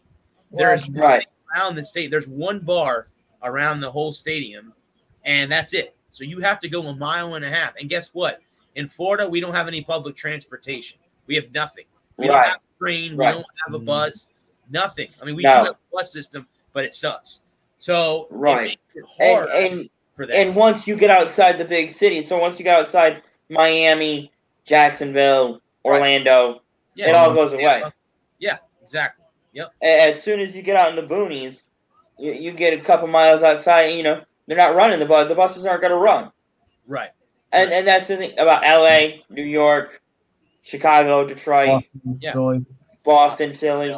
The- Yep. There's public transportation. There's shuttles everywhere. So even if you don't, you know, even you know, let's say your hotel is a mile from the stadium, even Ann Arbor, and, and where where the Wolverines call home. Mm-hmm. Um, there's there's shuttles to and from hotels all around the area to Yes. the to the stadium. right. So you you get out, you get your hotel room in Ann Arbor, and you get up at nine o'clock, and you get on a shuttle, and you, you shuttle right to the stadium. You don't have to even worry about parking. You just leave your car, lock your car up, leave your car at the hotel, and shuttle. It's a twenty minute shuttle ride. That's what me and my mom did when we went to the Red Wings game a couple years ago. We start. We parked at the cafe, which was Hockey Town Cafe in Detroit. Is a five ten minute ca- uh, five ten minute shuttle ride from Hockey Town right down to the stadium, and you literally get off and walk up the stairs and go right on into the into the into the arena. Mm. And I think that's I think that's kind of kind of what you were alluding to there with Tampa Bay, uh, at least with uh, with Tropicana Field. I don't know so so much about Raymond. Can you talk about Raymond James there? Is that is that any Well, different? It, it is it is different. Raymond James is different because again, when you leave Raymond James Stadium down Dale Mabry, the the the road that um, Raymond James Stadium is on is bars, restaurants, strip clubs. That's what Dale Mabry basically is. Um, so Tropicana Field does not have that access. It's out in Um, the middle of nowhere then. Yeah. it, it's yeah, it's in it's it's in down it's in downtown St. Pete, but it's not near the what they call the mecca of what Mhm. you have as far as what you need. Just like you were just saying, but when I went, I've gone to Sunrise where the Panthers play, and we Mm. stay at a hotel about 15 minutes away. The shuttle takes us to the outlet mall right across the street from the stadium. So they would drop you off and pick you up from that outlet mall. So Right. you go and pick it up, and then you go back to Yeah, some location. They would take you back to the hotel. and that's We that's we exactly We don't have that here. They don't have that kind of capability in St. Pete. They don't have that kind of transportation in St. Pete. right, and that's exactly that's exactly drive or whatever. Yeah. Right, you just and I I haven't been to Little Caesars, but at the Joe, you you come out the main entrance, you go down that big flight of stairs, and You got Cobo. you you you stand you stand there and you wait for the show. Oh yeah, that's right. You've been to the Joe. You got Cobo Hall right there. So you Yeah, yeah. walk through the hall to get back out into the city. I mean, I when I went to the game at the Joe before it closed down, they lost the Oilers that night. But um, Uh, we lost They- to Montreal the night that I went. they um, when you walk through Cobo Hall, obviously there's security walking through there, but you walk right, Right. up to the main area of the where Cobo Hall hit. The Cobo's at the end of the street, and now you're in downtown Detroit, and you got hotels and all that stuff straight ahead. Hotels, bars, nightclubs, Right. all So the casinos are within. Correct. Yeah, it's all within. They're, they're, if they're not within walking distance, they're they're definitely within an Uber. right. Exactly. You, See, you grab it. Uh, say you know that's one of the reasons why the Wings um, shifted their, their Sunday games from seven to five. And, and going back to what you're saying about the Rays, there's nothing to do. No. Even if you have a Sunday afternoon baseball game, which a lot of baseball games are played on Sunday afternoon, um, you know you have a one o'clock you have a one o'clock first pitch, game's over by four thirty, and maybe five o'clock if it goes a little bit longer. Um, there's still four or five hours before you got to get home, go to bed. If you live in the if you live in the Tampa Bay area, you know if you're not if you're not commuting from two or three hours away, if you live right there it's you know, you you know what's there to do? You know Right. you have to get you have to go back into Tampa Bay proper before you can get. And I think that's the big. Even if you even if they were to create it, you know, even if they would go to Ebron or or whatever you said the name of the other Ebor City. Igor, Igor, Mhm. whatever. You know, what's there to do in Ybor? Well, you have nightclubs and bars. Oh, y- okay. It, it would make more sense, but for them to move to Ybor, they actually had a stadium Mm. site already ready to go. But what ended up happening again is Stu Sternberg wanted money, public money, to be put into the stadium Right. because I think the stadium was going to be one or close to a billion dollars. I think is what they were Mm. talking about, Wow. and he was only going to put up 150 million of it. So you do you do If, if math, you you do that's- that.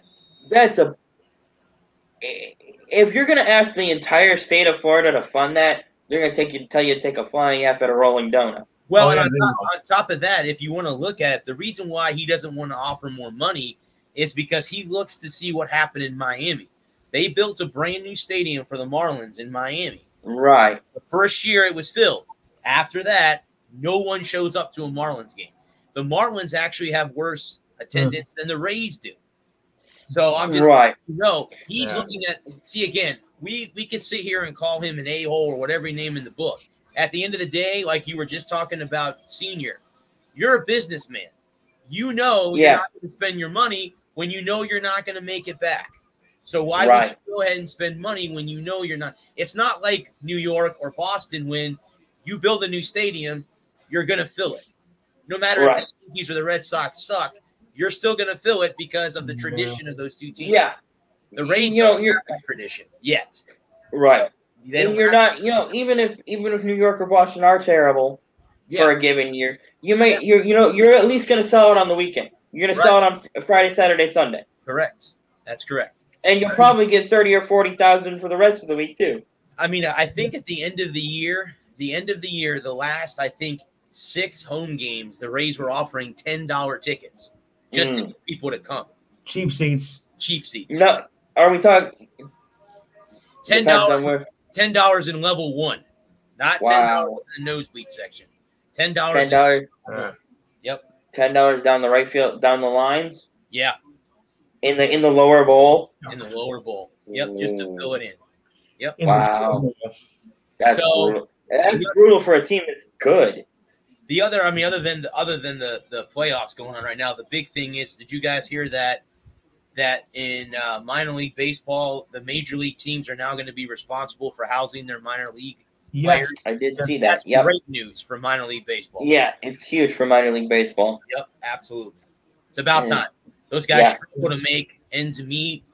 They Yep. have to get second jobs. be- They have to get a regular nine to five job just to make Yeah. it. Yeah. You know, so now they don't have to Yeah. worry about living anymore because Housing, Major League Baseball is going to pay for it. So that's fine. I mean, that's great. finally. Mm. Yeah. So that was a good story I got to catch up on. Uh, yeah, yeah. It's a great Aaron- story. Aaron Boone got a three year extension. That came up. Yeah, how do you feel about that, Lou? You know, if George was still alive, he wouldn't have that. I, yeah, I, I Aaron agree. would have been, Aaron would have been, you know, gone. I mean, completely gone. But his son doesn't seem I'm to be like that. he's still there. He has, he has more faith, you know. I think, and I, I kind of feel like he earned. He, I, I think three years was too much. I would have given him one more. I think with the way they bounced back and came back and made the playoffs, even though they didn't do anything in the playoffs, I think they at least earned that. He at least earned one more year. yes, Right. Um, with with the injury bug that's been plaguing them for the last couple of years, I wouldn't totally give up on him just yet. But I I, I, I understand the feeling. I, I I I totally get it because I feel the same way about a certain coach in Detroit. But I I, I, I felt he should have been. I, I felt like he should have been fired five years ago. But that's just me. I. Um, but I, I, I, you know, for me, the the big thing about bringing Boone back compared to getting rid of him, bringing somebody new in, is the fact that they did make a playoff run. They- Yeah, They made some moves to get better, and they got better. And so right. I, I think that I think that managing, being a baseball, a manager in baseball is the most difficult managerial position in sports, coaching position in sports, because it's so there's so little that you can control. hmm um, you, you you know with football or baseball or basketball, you know you design plays. You know you have strategies, and you you know you have to you know it you have to really be a, a great coach can take average players and, and, and win a championship with them. With baseball, you need great players to make a to be a competitive team. Um, and and so so with baseball uh, being such a, a fickle sport where you can have you know if you have part of your lineup go cold for a week you can lose four straight games hmm Yeah. and and there's not so there's there's only so much you can do about it. There's only so many things you can try and tweak. Uh, if your guys aren't hitting, if you- if you're not, you know, if your pitchers aren't pitching, it really it becomes very easy to get to go into go into a skid. Um, and you really need great players to be able to be a great manager in baseball. You know, look at look at um, or what's his name? The, the, the coach of the uh, the the Cubs used to be in uh used to be in Tampa. Oh, Joe Maddon. Not- Joe Maddon, yeah, yeah, yeah. I was always coming with Joe Morgan, but I knew that wasn't right. Or Joe Maddon, you know, he leads the leads Tampa Bay to a World Series, and um, 2008. And and they end up losing to Philly in five games. But you know, he takes that team as as that team starts to get old, and they start to you know they start to age out, and there isn't anybody coming in behind them. They fire Joe, they fire him, and it takes them six years to get back to prominence. You know, then then they, then the Cubs bring him in. He, he wins the World Series with them, and um, they they they struggle for a year or two, fire him, sell everything off, and start all over again. You know, and look at look at what he's doing in, in he's got two stars in in in L.A. and nothing else. Yep. And you you've got to have talent throughout your lineup and in your and in your in your and in your pitching staff. You know, I, I think that I think that being a baseball manager is so much more difficult than coaching any other sport. Where where with with baseball or football or basketball uh, or hockey. Um, I know I said baseball. I didn't mean to. I meant hockey. You you you know you have you're drawing up plays. You're you're coaching on the fly. You're you're giving your guys. You're making adjustments and you're you're setting things up. But with baseball, you're just hoping your guys can make contact. Mhm. and it, it's there's a lot more feel and touch that goes into being a baseball manager. And there's a lot of you know you can look at you know all the analytics you, you want. You can look at all the analytics you know, and if you your small ball and, and Billy Beane and and Oakland, but they never won a title because they just didn't have the talent at the top of you know they didn't they didn't have you, you can you can get crafty you can get creative and you can find a guy in the you know in some grapefruit league or some bush league out there playing softball and you can have a great season. But if it's not sustainable and if, if you only have one or two of those guys and you don't have enough of those guys you you you, you manage so your hair falls out and you're not going to be you're you're hmm. going to be no better than 500 No, I agree. I agree. Yeah.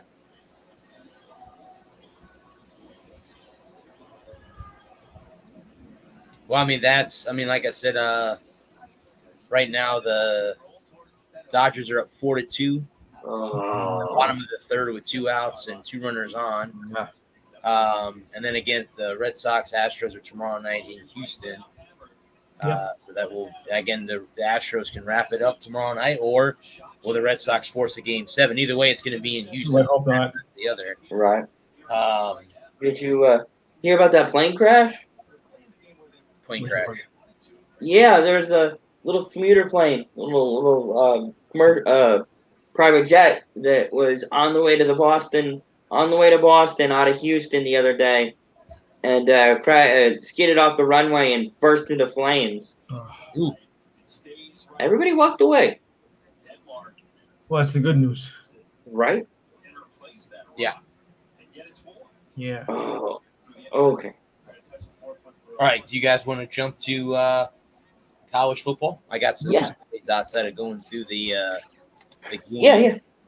Uh, the first thing I wanted to bring up was it looks like Florida, Michigan, and Ohio State players have all inked deals with Outback Steakhouse. So that's pretty Really?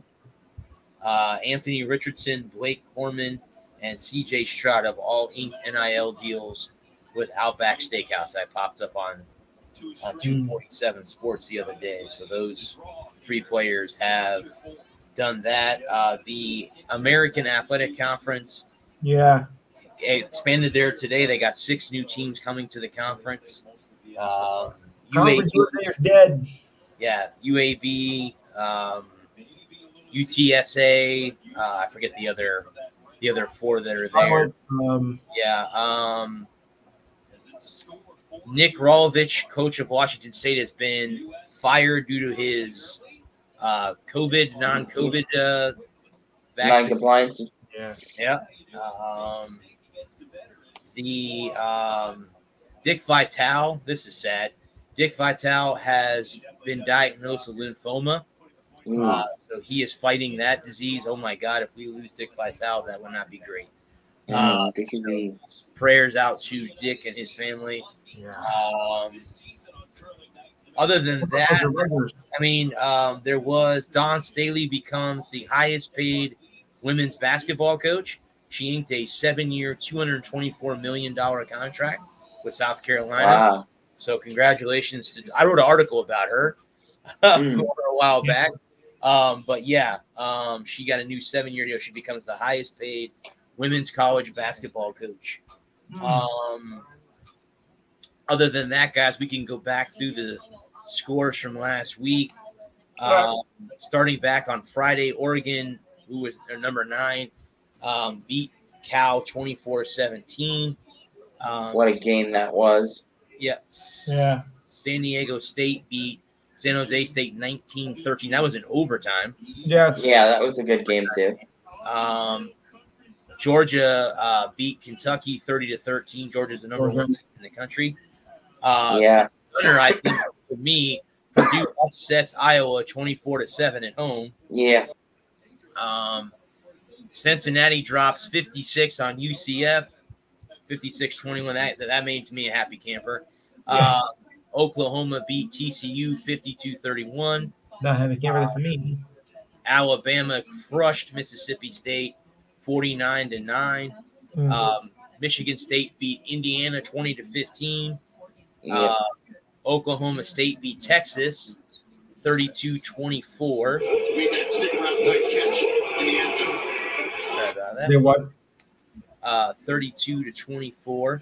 Ole Miss beat uh, Tennessee 31 Uh, yeah. Here's oh, what a the, what's that? Wow. what the, I mean, got what the hell was that with that incident? I mean, really, to get 20 minutes to, to figure it out, and, and the fans were going ballistic, and Lane Kiffin even got even got hurt with a, Yeah, with a golf golf. ball. I mean, totally got- ridiculous and uncalled for. I mean, I they mean, got they got fined $250,000 only University. 250. They would have gave him 25, 25 million for that. And again, guys, just proves my point of why I hate Tennessee. Like this, The ridiculous moment of the week. Yeah. Auburn yeah, beat definitely. Auburn upset Arkansas 48 23. Mm. Um, Utah beat Arizona State 35 21. Hmm. Uh, Baylor beat BYU 38 24. Uh, the game that made me vomit, LSU beat Florida 49 42. Um, Mm. yeah. Texas A&M beat Missouri 35-14 after beating Alabama the week before, and NC State beat Boston College 33 to 7.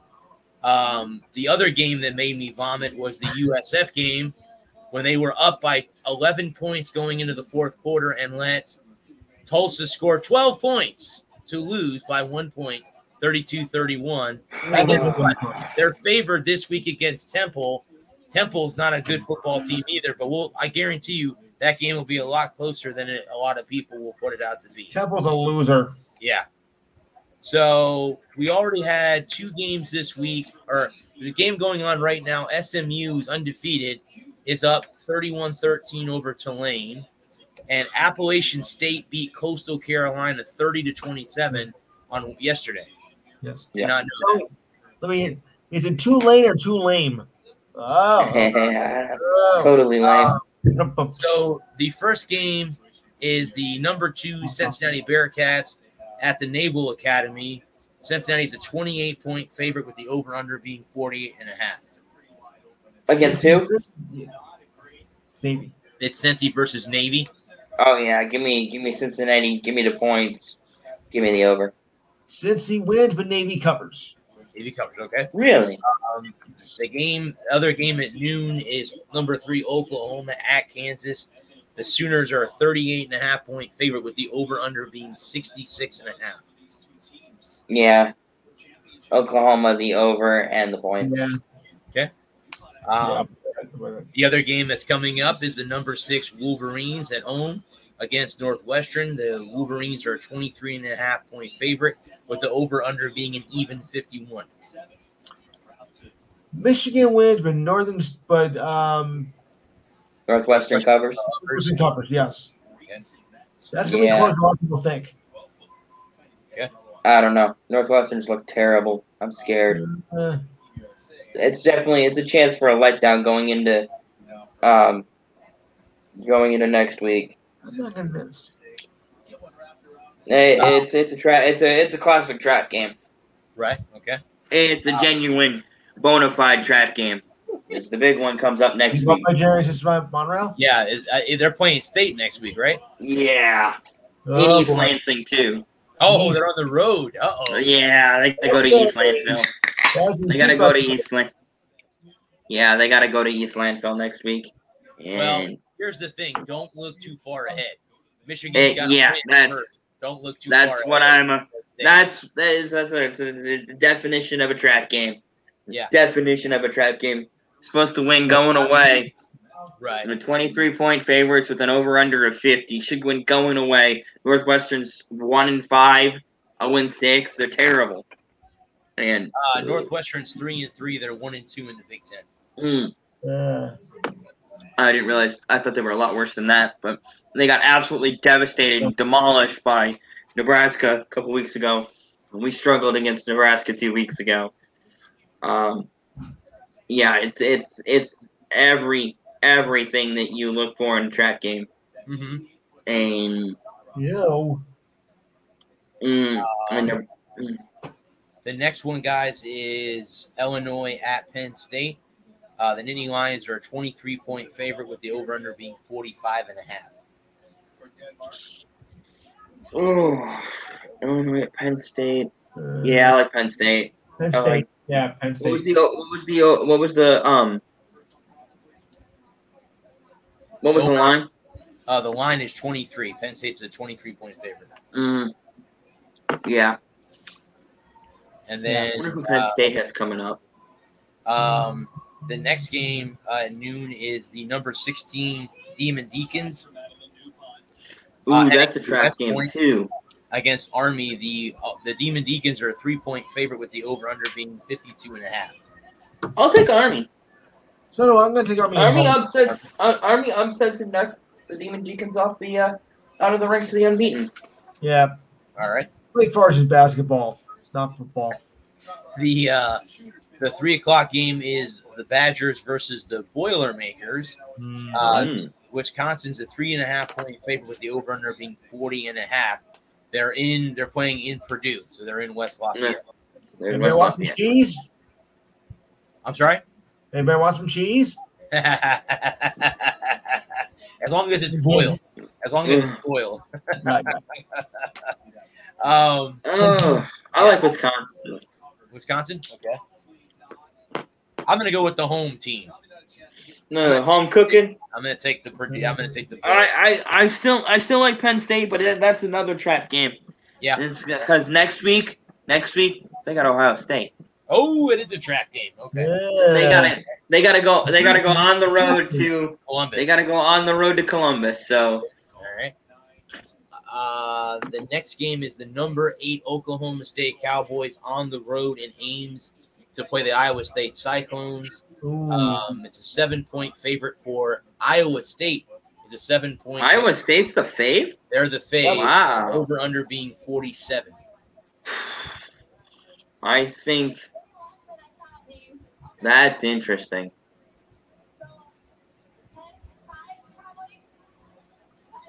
That's interesting. Uh-huh. Um. Oh, I, like take- Oklahoma State. I was gonna say Yeah. Oklahoma State. Iowa State. Iowa State. Okay. All right. Yeah. Um, the next game is the number 10 Ducks on the road against the Bruins in the Rose Bowl. Uh, UCLA is a one point favorite with the over under being 60 and a half. Wow. Oh, okay. Ooh, they got. Okay, yeah. Um, give me the Ducks. Ducks? Whack, whack, whack. Give me the Ducks. Yes. Yeah, I'm taking I'm taking Daffy Donald and everybody else. Um, and you said 66, Uh, 60 and a half is the over under. 60 and a half. Oh, okay. Uh, give me the under. Okay. Um, the next 3:30 game is the LSU Tigers on the road in Oxford to play the Ole Miss Rebels. Ole Miss is a nine-point favorite with the over/under being 76. That's seven six and a half. Good. That's a lot of points. They, That's a but those two points. teams are pretty good offensively. So yeah. I would be surprised. I'm not going to say think- that I would take the over, but I would be Yeah, surprised. Because to get to 76, somebody's gonna have to get in the 40s. 40s. Oh. or you're going to have to have a 33, you know, 33 32 or a 33 Ole Miss. 34 type situation. Ole yeah, I like Ole Miss too. Say there were nine point favorites. nine point favorite. Yep. Ole Miss. is I right. think I, I'll take Ole Miss, but LSU covers. Okay. I'll buy Um, that. I'll buy that. the next game is Would you the buy it for a dollar? four and two Clemson Tigers on the road against the Pitt Panthers in Heinz Ooh. Field. The Clemson. Pittsburgh is three and a half with the over under being 48. Clemson. I like Pittsburgh. I I like could- Pittsburgh. Uh, Pitt's, Pitt's Okay.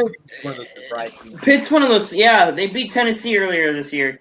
Yep. Um, and, and Clemson's. This is if you're gonna get Clemson, this is the year to get them. Yep. Yep. I agree. Uh-huh. I agree. Um, the next game is a seven o'clock game. The uh, Tennessee Volunteers go on the road in Tuscaloosa to play the number four Tide. Alabama is a 20, 25 point favorite with the over under being seven. Yeah, I want I want Alabama. I want the points and I want the over. Alabama rolls. Oh yeah, Alabama. Uh, they they're they're playing pissed off. Yeah. That's not a team you want to face playing. That's not. That's not a team you want to get coming off a loss, man. No, no, no. no. Ugh. I know. I know. Alabama, Alabama won last week, but the I, I was I was just about to say I know we're two Yeah. weeks removed from that loss, but A and M lost. Yep. yeah. Well, I'll tell you, Yeah, I'm not crazy about Bama's defense this year. There are some. Yeah, I mean, Bama does have some issues on the defensive side. Yes, they do. I'm not crazy about about uh, Tennessee's defense either. I think the best Ugh. team. In the, I think the best team in the country is Georgia. I, Georgia. I, think so, and I think it's Georgia. Uh, Um, right now, right Well- now, right now. Yeah, yeah, right. Well, looking at this, looking at Alabama's schedule, this is the first game at home they've had since the loss. Okay. Um, yeah, they're gonna want, they're gonna come out, they're gonna play fast, they're gonna play hard, they're gonna play fired up for their home fans. It's, I you know, just hope that they annihilate Tennessee. So that's all I. hey, yeah. No problem. Um, the next guy, the next game, guys, is at 7 p.m. It's the number 22 San Diego State on the road to play Air Force at the at the Air Force Ooh. Academy. That's an easy one. Um, Air Force is a three point favorite with the over under being 39. I like Air Force. I'll take Air Force, the points, and the under. Yeah, San Diego State. Okay. Um, the next game is at 7 p.m. and it's the UTSA. That's University of Texas San Antonio, if I'm not mistaken. Yes, Um, yes. they're on the road against uh, Louisiana Tech. Uh, the USTA is a six and a half point favorite with the over under being 59 and a half. Texas. Yeah, I would say Yeah. USTA in that one. They're 7 and 0 so far this season. So I think they continue to be undefeated after this week. Agreed. Um, the 7:30 game is the Ohio State Buckeyes on the road in Bloomington to play the Indiana Hoosiers. Oh, The forget. Buckeyes are a 21 point favorite with the over under being 59 and a half. Honestly, it's going to kill him. Indiana's given them kind of some heartache recently. I, Yeah. I, am not gonna say I, I'm not gonna say Ohio State's not gonna. I'm not. I'm not gonna. I'm not gonna take Indiana to win outright, but they'll cover. Yeah, I would say they'll cover. I would say that too. Um, the 7:30 game is the USC Trojans on the road in South in uh, South Bend to play the Irish. Uh, the Notre Dame is a seven-point favorite with the over/under being 58. Irish. SC. SC, okay. Yep. All right. Uh, 7:30 at College Station. The South Carolina Gamecocks are on the road to play the Aggies, Texas A&M. The Aggies are a 19 and a half point favorite with the over under 45. A&M. A&M over, and yeah, Okay. the A&M the points in the over. The number 18 NC State Wolfpack are on the road in Coral Gables to play the Miami Hurricanes. The line is three and a half for the Wolfpack, with the over under being 53. Uh, I like the I like the Wolfpack. I like the um, they'll cover, and I want the under. All right, so That's that's, that's the top Nice. 25. I want to see something real quick because someone told me that USF was a favorite. I want to see if that's actually true. Let's see what the line is on here because I want to see. Yes, they are. The line is two and a half. What? Bulls, two and a half. The over under is 55. I got to ask you guys. I'm going to be at that game personally. Does When's the is that a noon kick? It's at no, it's at seven o'clock. Oh, It's a it's a seven late kick. p.m. Okay. Uh huh. It's a I'm 7 p.m. kick. Yeah. Oh, it's the little it's the little one's birthday, so I probably won't watch anything but the Michigan game. Um, I probably won't even watch it. I'll probably have it on in my earbuds, just have it in my ear as background noise. Um, ooh, uh, USF two and a half. Where are they? Are they in Florida? Oh yeah, they are in Florida because you're gonna be there. Um, Tough. yeah, I like SF. Okay, all right. That the, Uh, other, the other game in the uh, in the American is uh, Eastern Carolina is on the road to play the five and one Houston Cougars. The line is 13 and a half for Houston, and an over under of 57 and a half. Houston wins. Houston. Okay. Who who do they? Houston and who? Uh, East, East Carolina. Carolina, the Pirates. Oh yeah, Houston. Yeah, Houston. East Now- Carolina's not as good as they were a couple years ago. No. I'm gonna I'll t- I'll take USF to cover. I don't think that the, I think I'll take the under. I don't see them scoring 55 total points between each other. No, I I, agree. I, I I mean, got that. Not even on a good day. USF Like a third- scored 31 last week, but I don't I don't see that happening. Uh, yeah, I, I like 17, 20, 13, 10, Yeah. something like that. Yeah. the the other game, guys, Memphis, the Tigers are on the road at the Bounce House in Orlando to play UCF. The line is one and a half for the Tigers. The over under 63 and a half. Memphis, uh, it's basically a push at that point. Why- Memphis to cover because if it was one and a half, One and a half, yeah, one and a half to cover. it's pretty much it's pretty much that's about all you can. You can't get any closer to a push than that. Right, right. I mean, you can only if you win by one. I mean, that would be a bad beat. Ugh. The only Yeah. game, guys, in the Big Ten that is not a top 25 matchup would be uh, Maryland on the road in Minneapolis to play the Golden Gophers. Minnesota's a four and a half point favorite with the over under Yeah. 54 and a half. Give me Minnesota. Give me the points and give me the under. Gophers. The uh, the Gators don't play this week after their I kind of thought so. LSU. Uh, but guess who they get to play next week? Oh, that's right. They get to play Georgia on the road. Oh, the Cool. neutral. They got to go between the head. Game They gotta go to- Game They got to go already. between the hedges next week. They're gonna get slaughtered in Jacksonville. Oh, that, that why is it in Jackson? God, I hate Always- neutral site games. It's been Yeah, a neutral site game for a long time.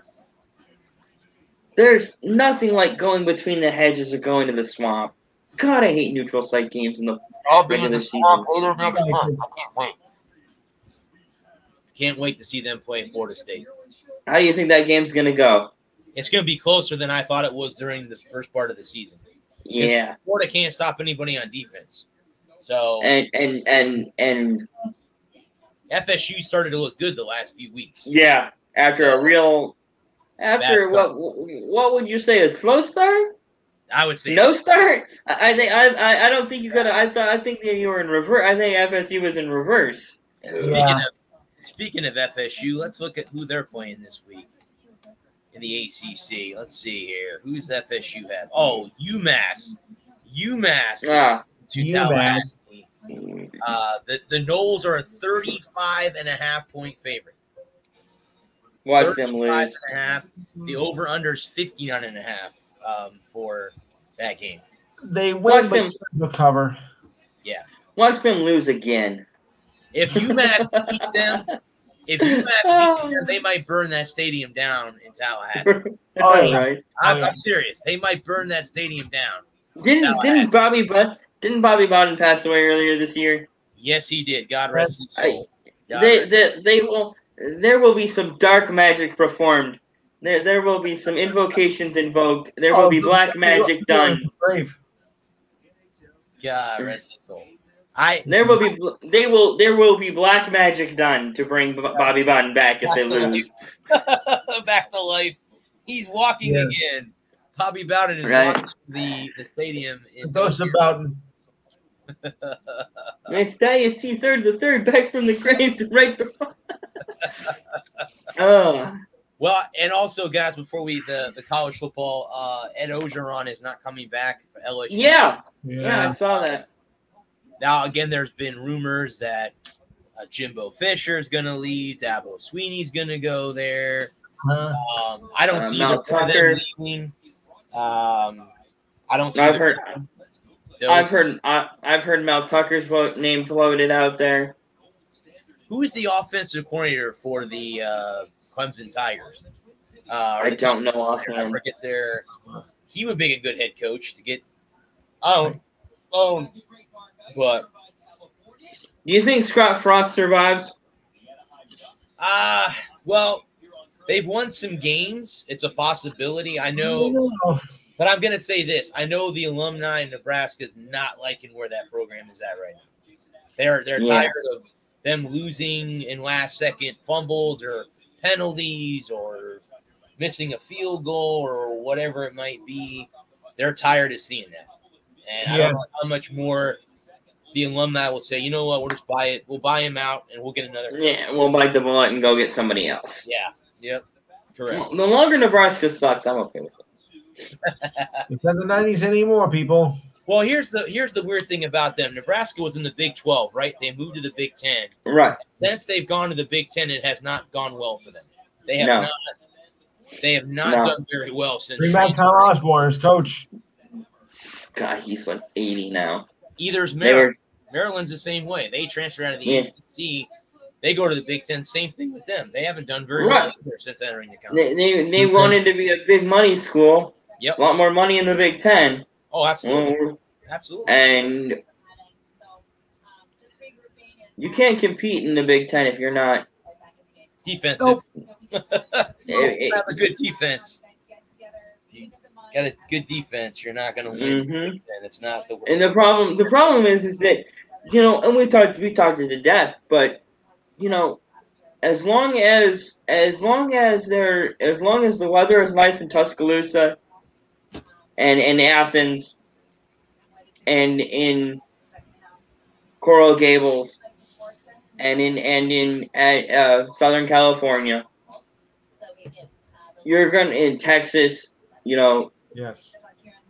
you're gonna have a hell of a time recruiting if anywhere, everywhere. Yeah. And and you know, unless you're gonna unless you can find some some diamonds in the rough and you can knock off what Alabama or an Ohio State right. or Michigan or Florida or Georgia, you're gonna have a hell of a time recruiting. It's gonna be a bitch because you know why would I go to Lincoln, Nebraska? Why would I go to Minneapolis, Minnesota? Yep. I mean, you know, look at you know even you know even the three star kids that end up you know at places like USF or UCF hmm you know, you know, and that's the thing about you know we, we talked about recruiting in Florida and Texas, Alabama, Georgia, Tennessee. You know these places that are relatively nice in uh, October. You know places where your daytime highs are in the mid 60s and or mid 70s, low 80s, hmm and and you know Knoxville is Knoxville is is, is gorgeous this time of year. And Tuscaloosa is gorgeous this year. Miami is gorgeous this time of year.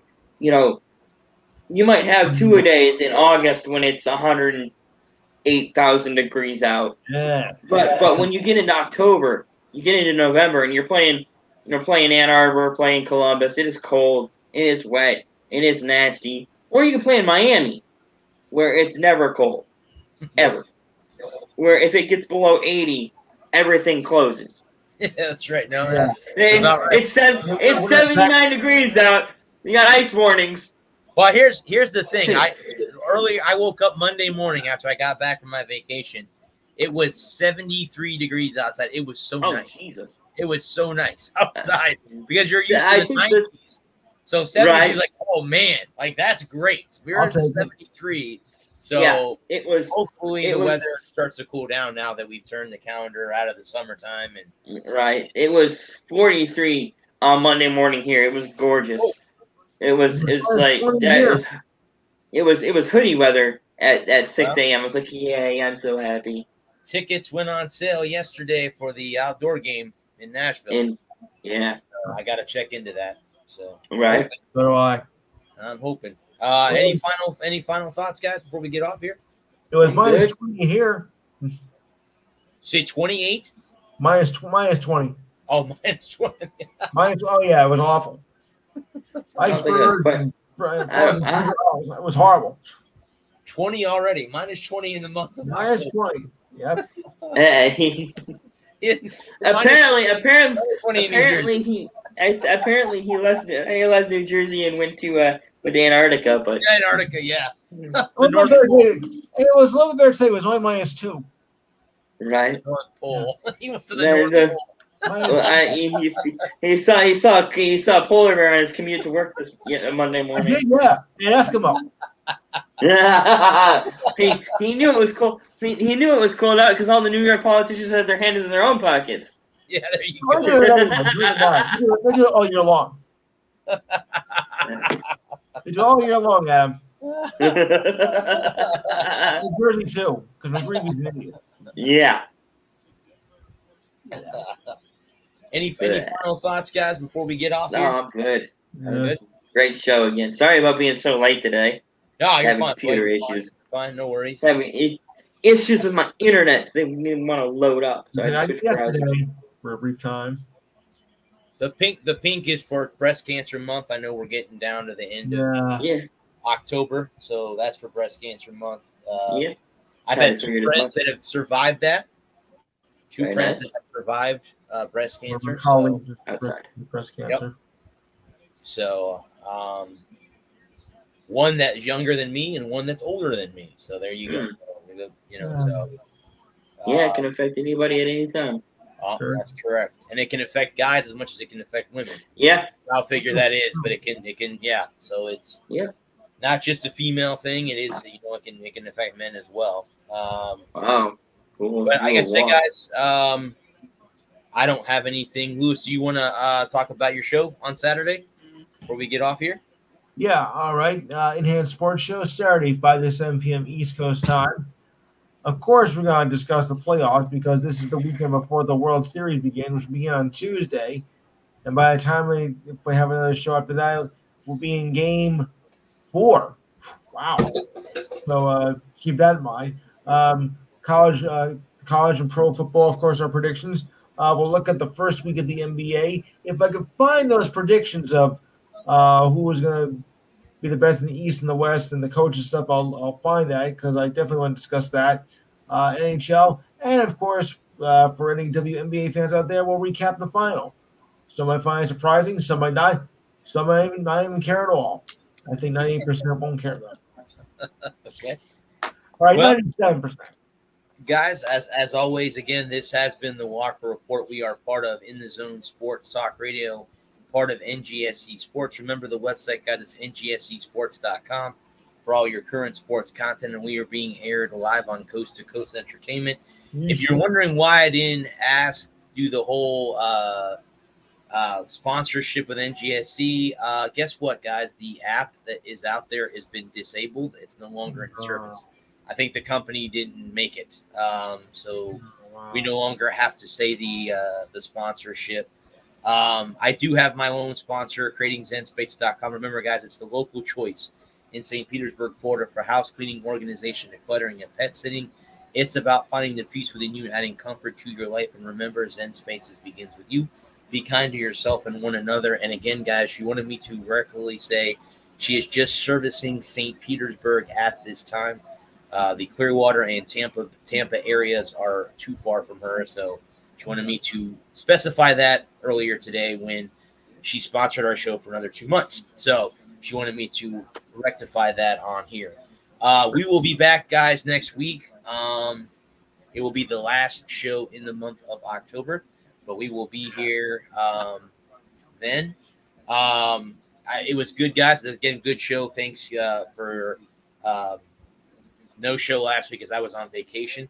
Uh, I was Right. I played golf last Thursday, so it was very, very nice uh, to be off and be on vacation. But we will, guys, be back here next week.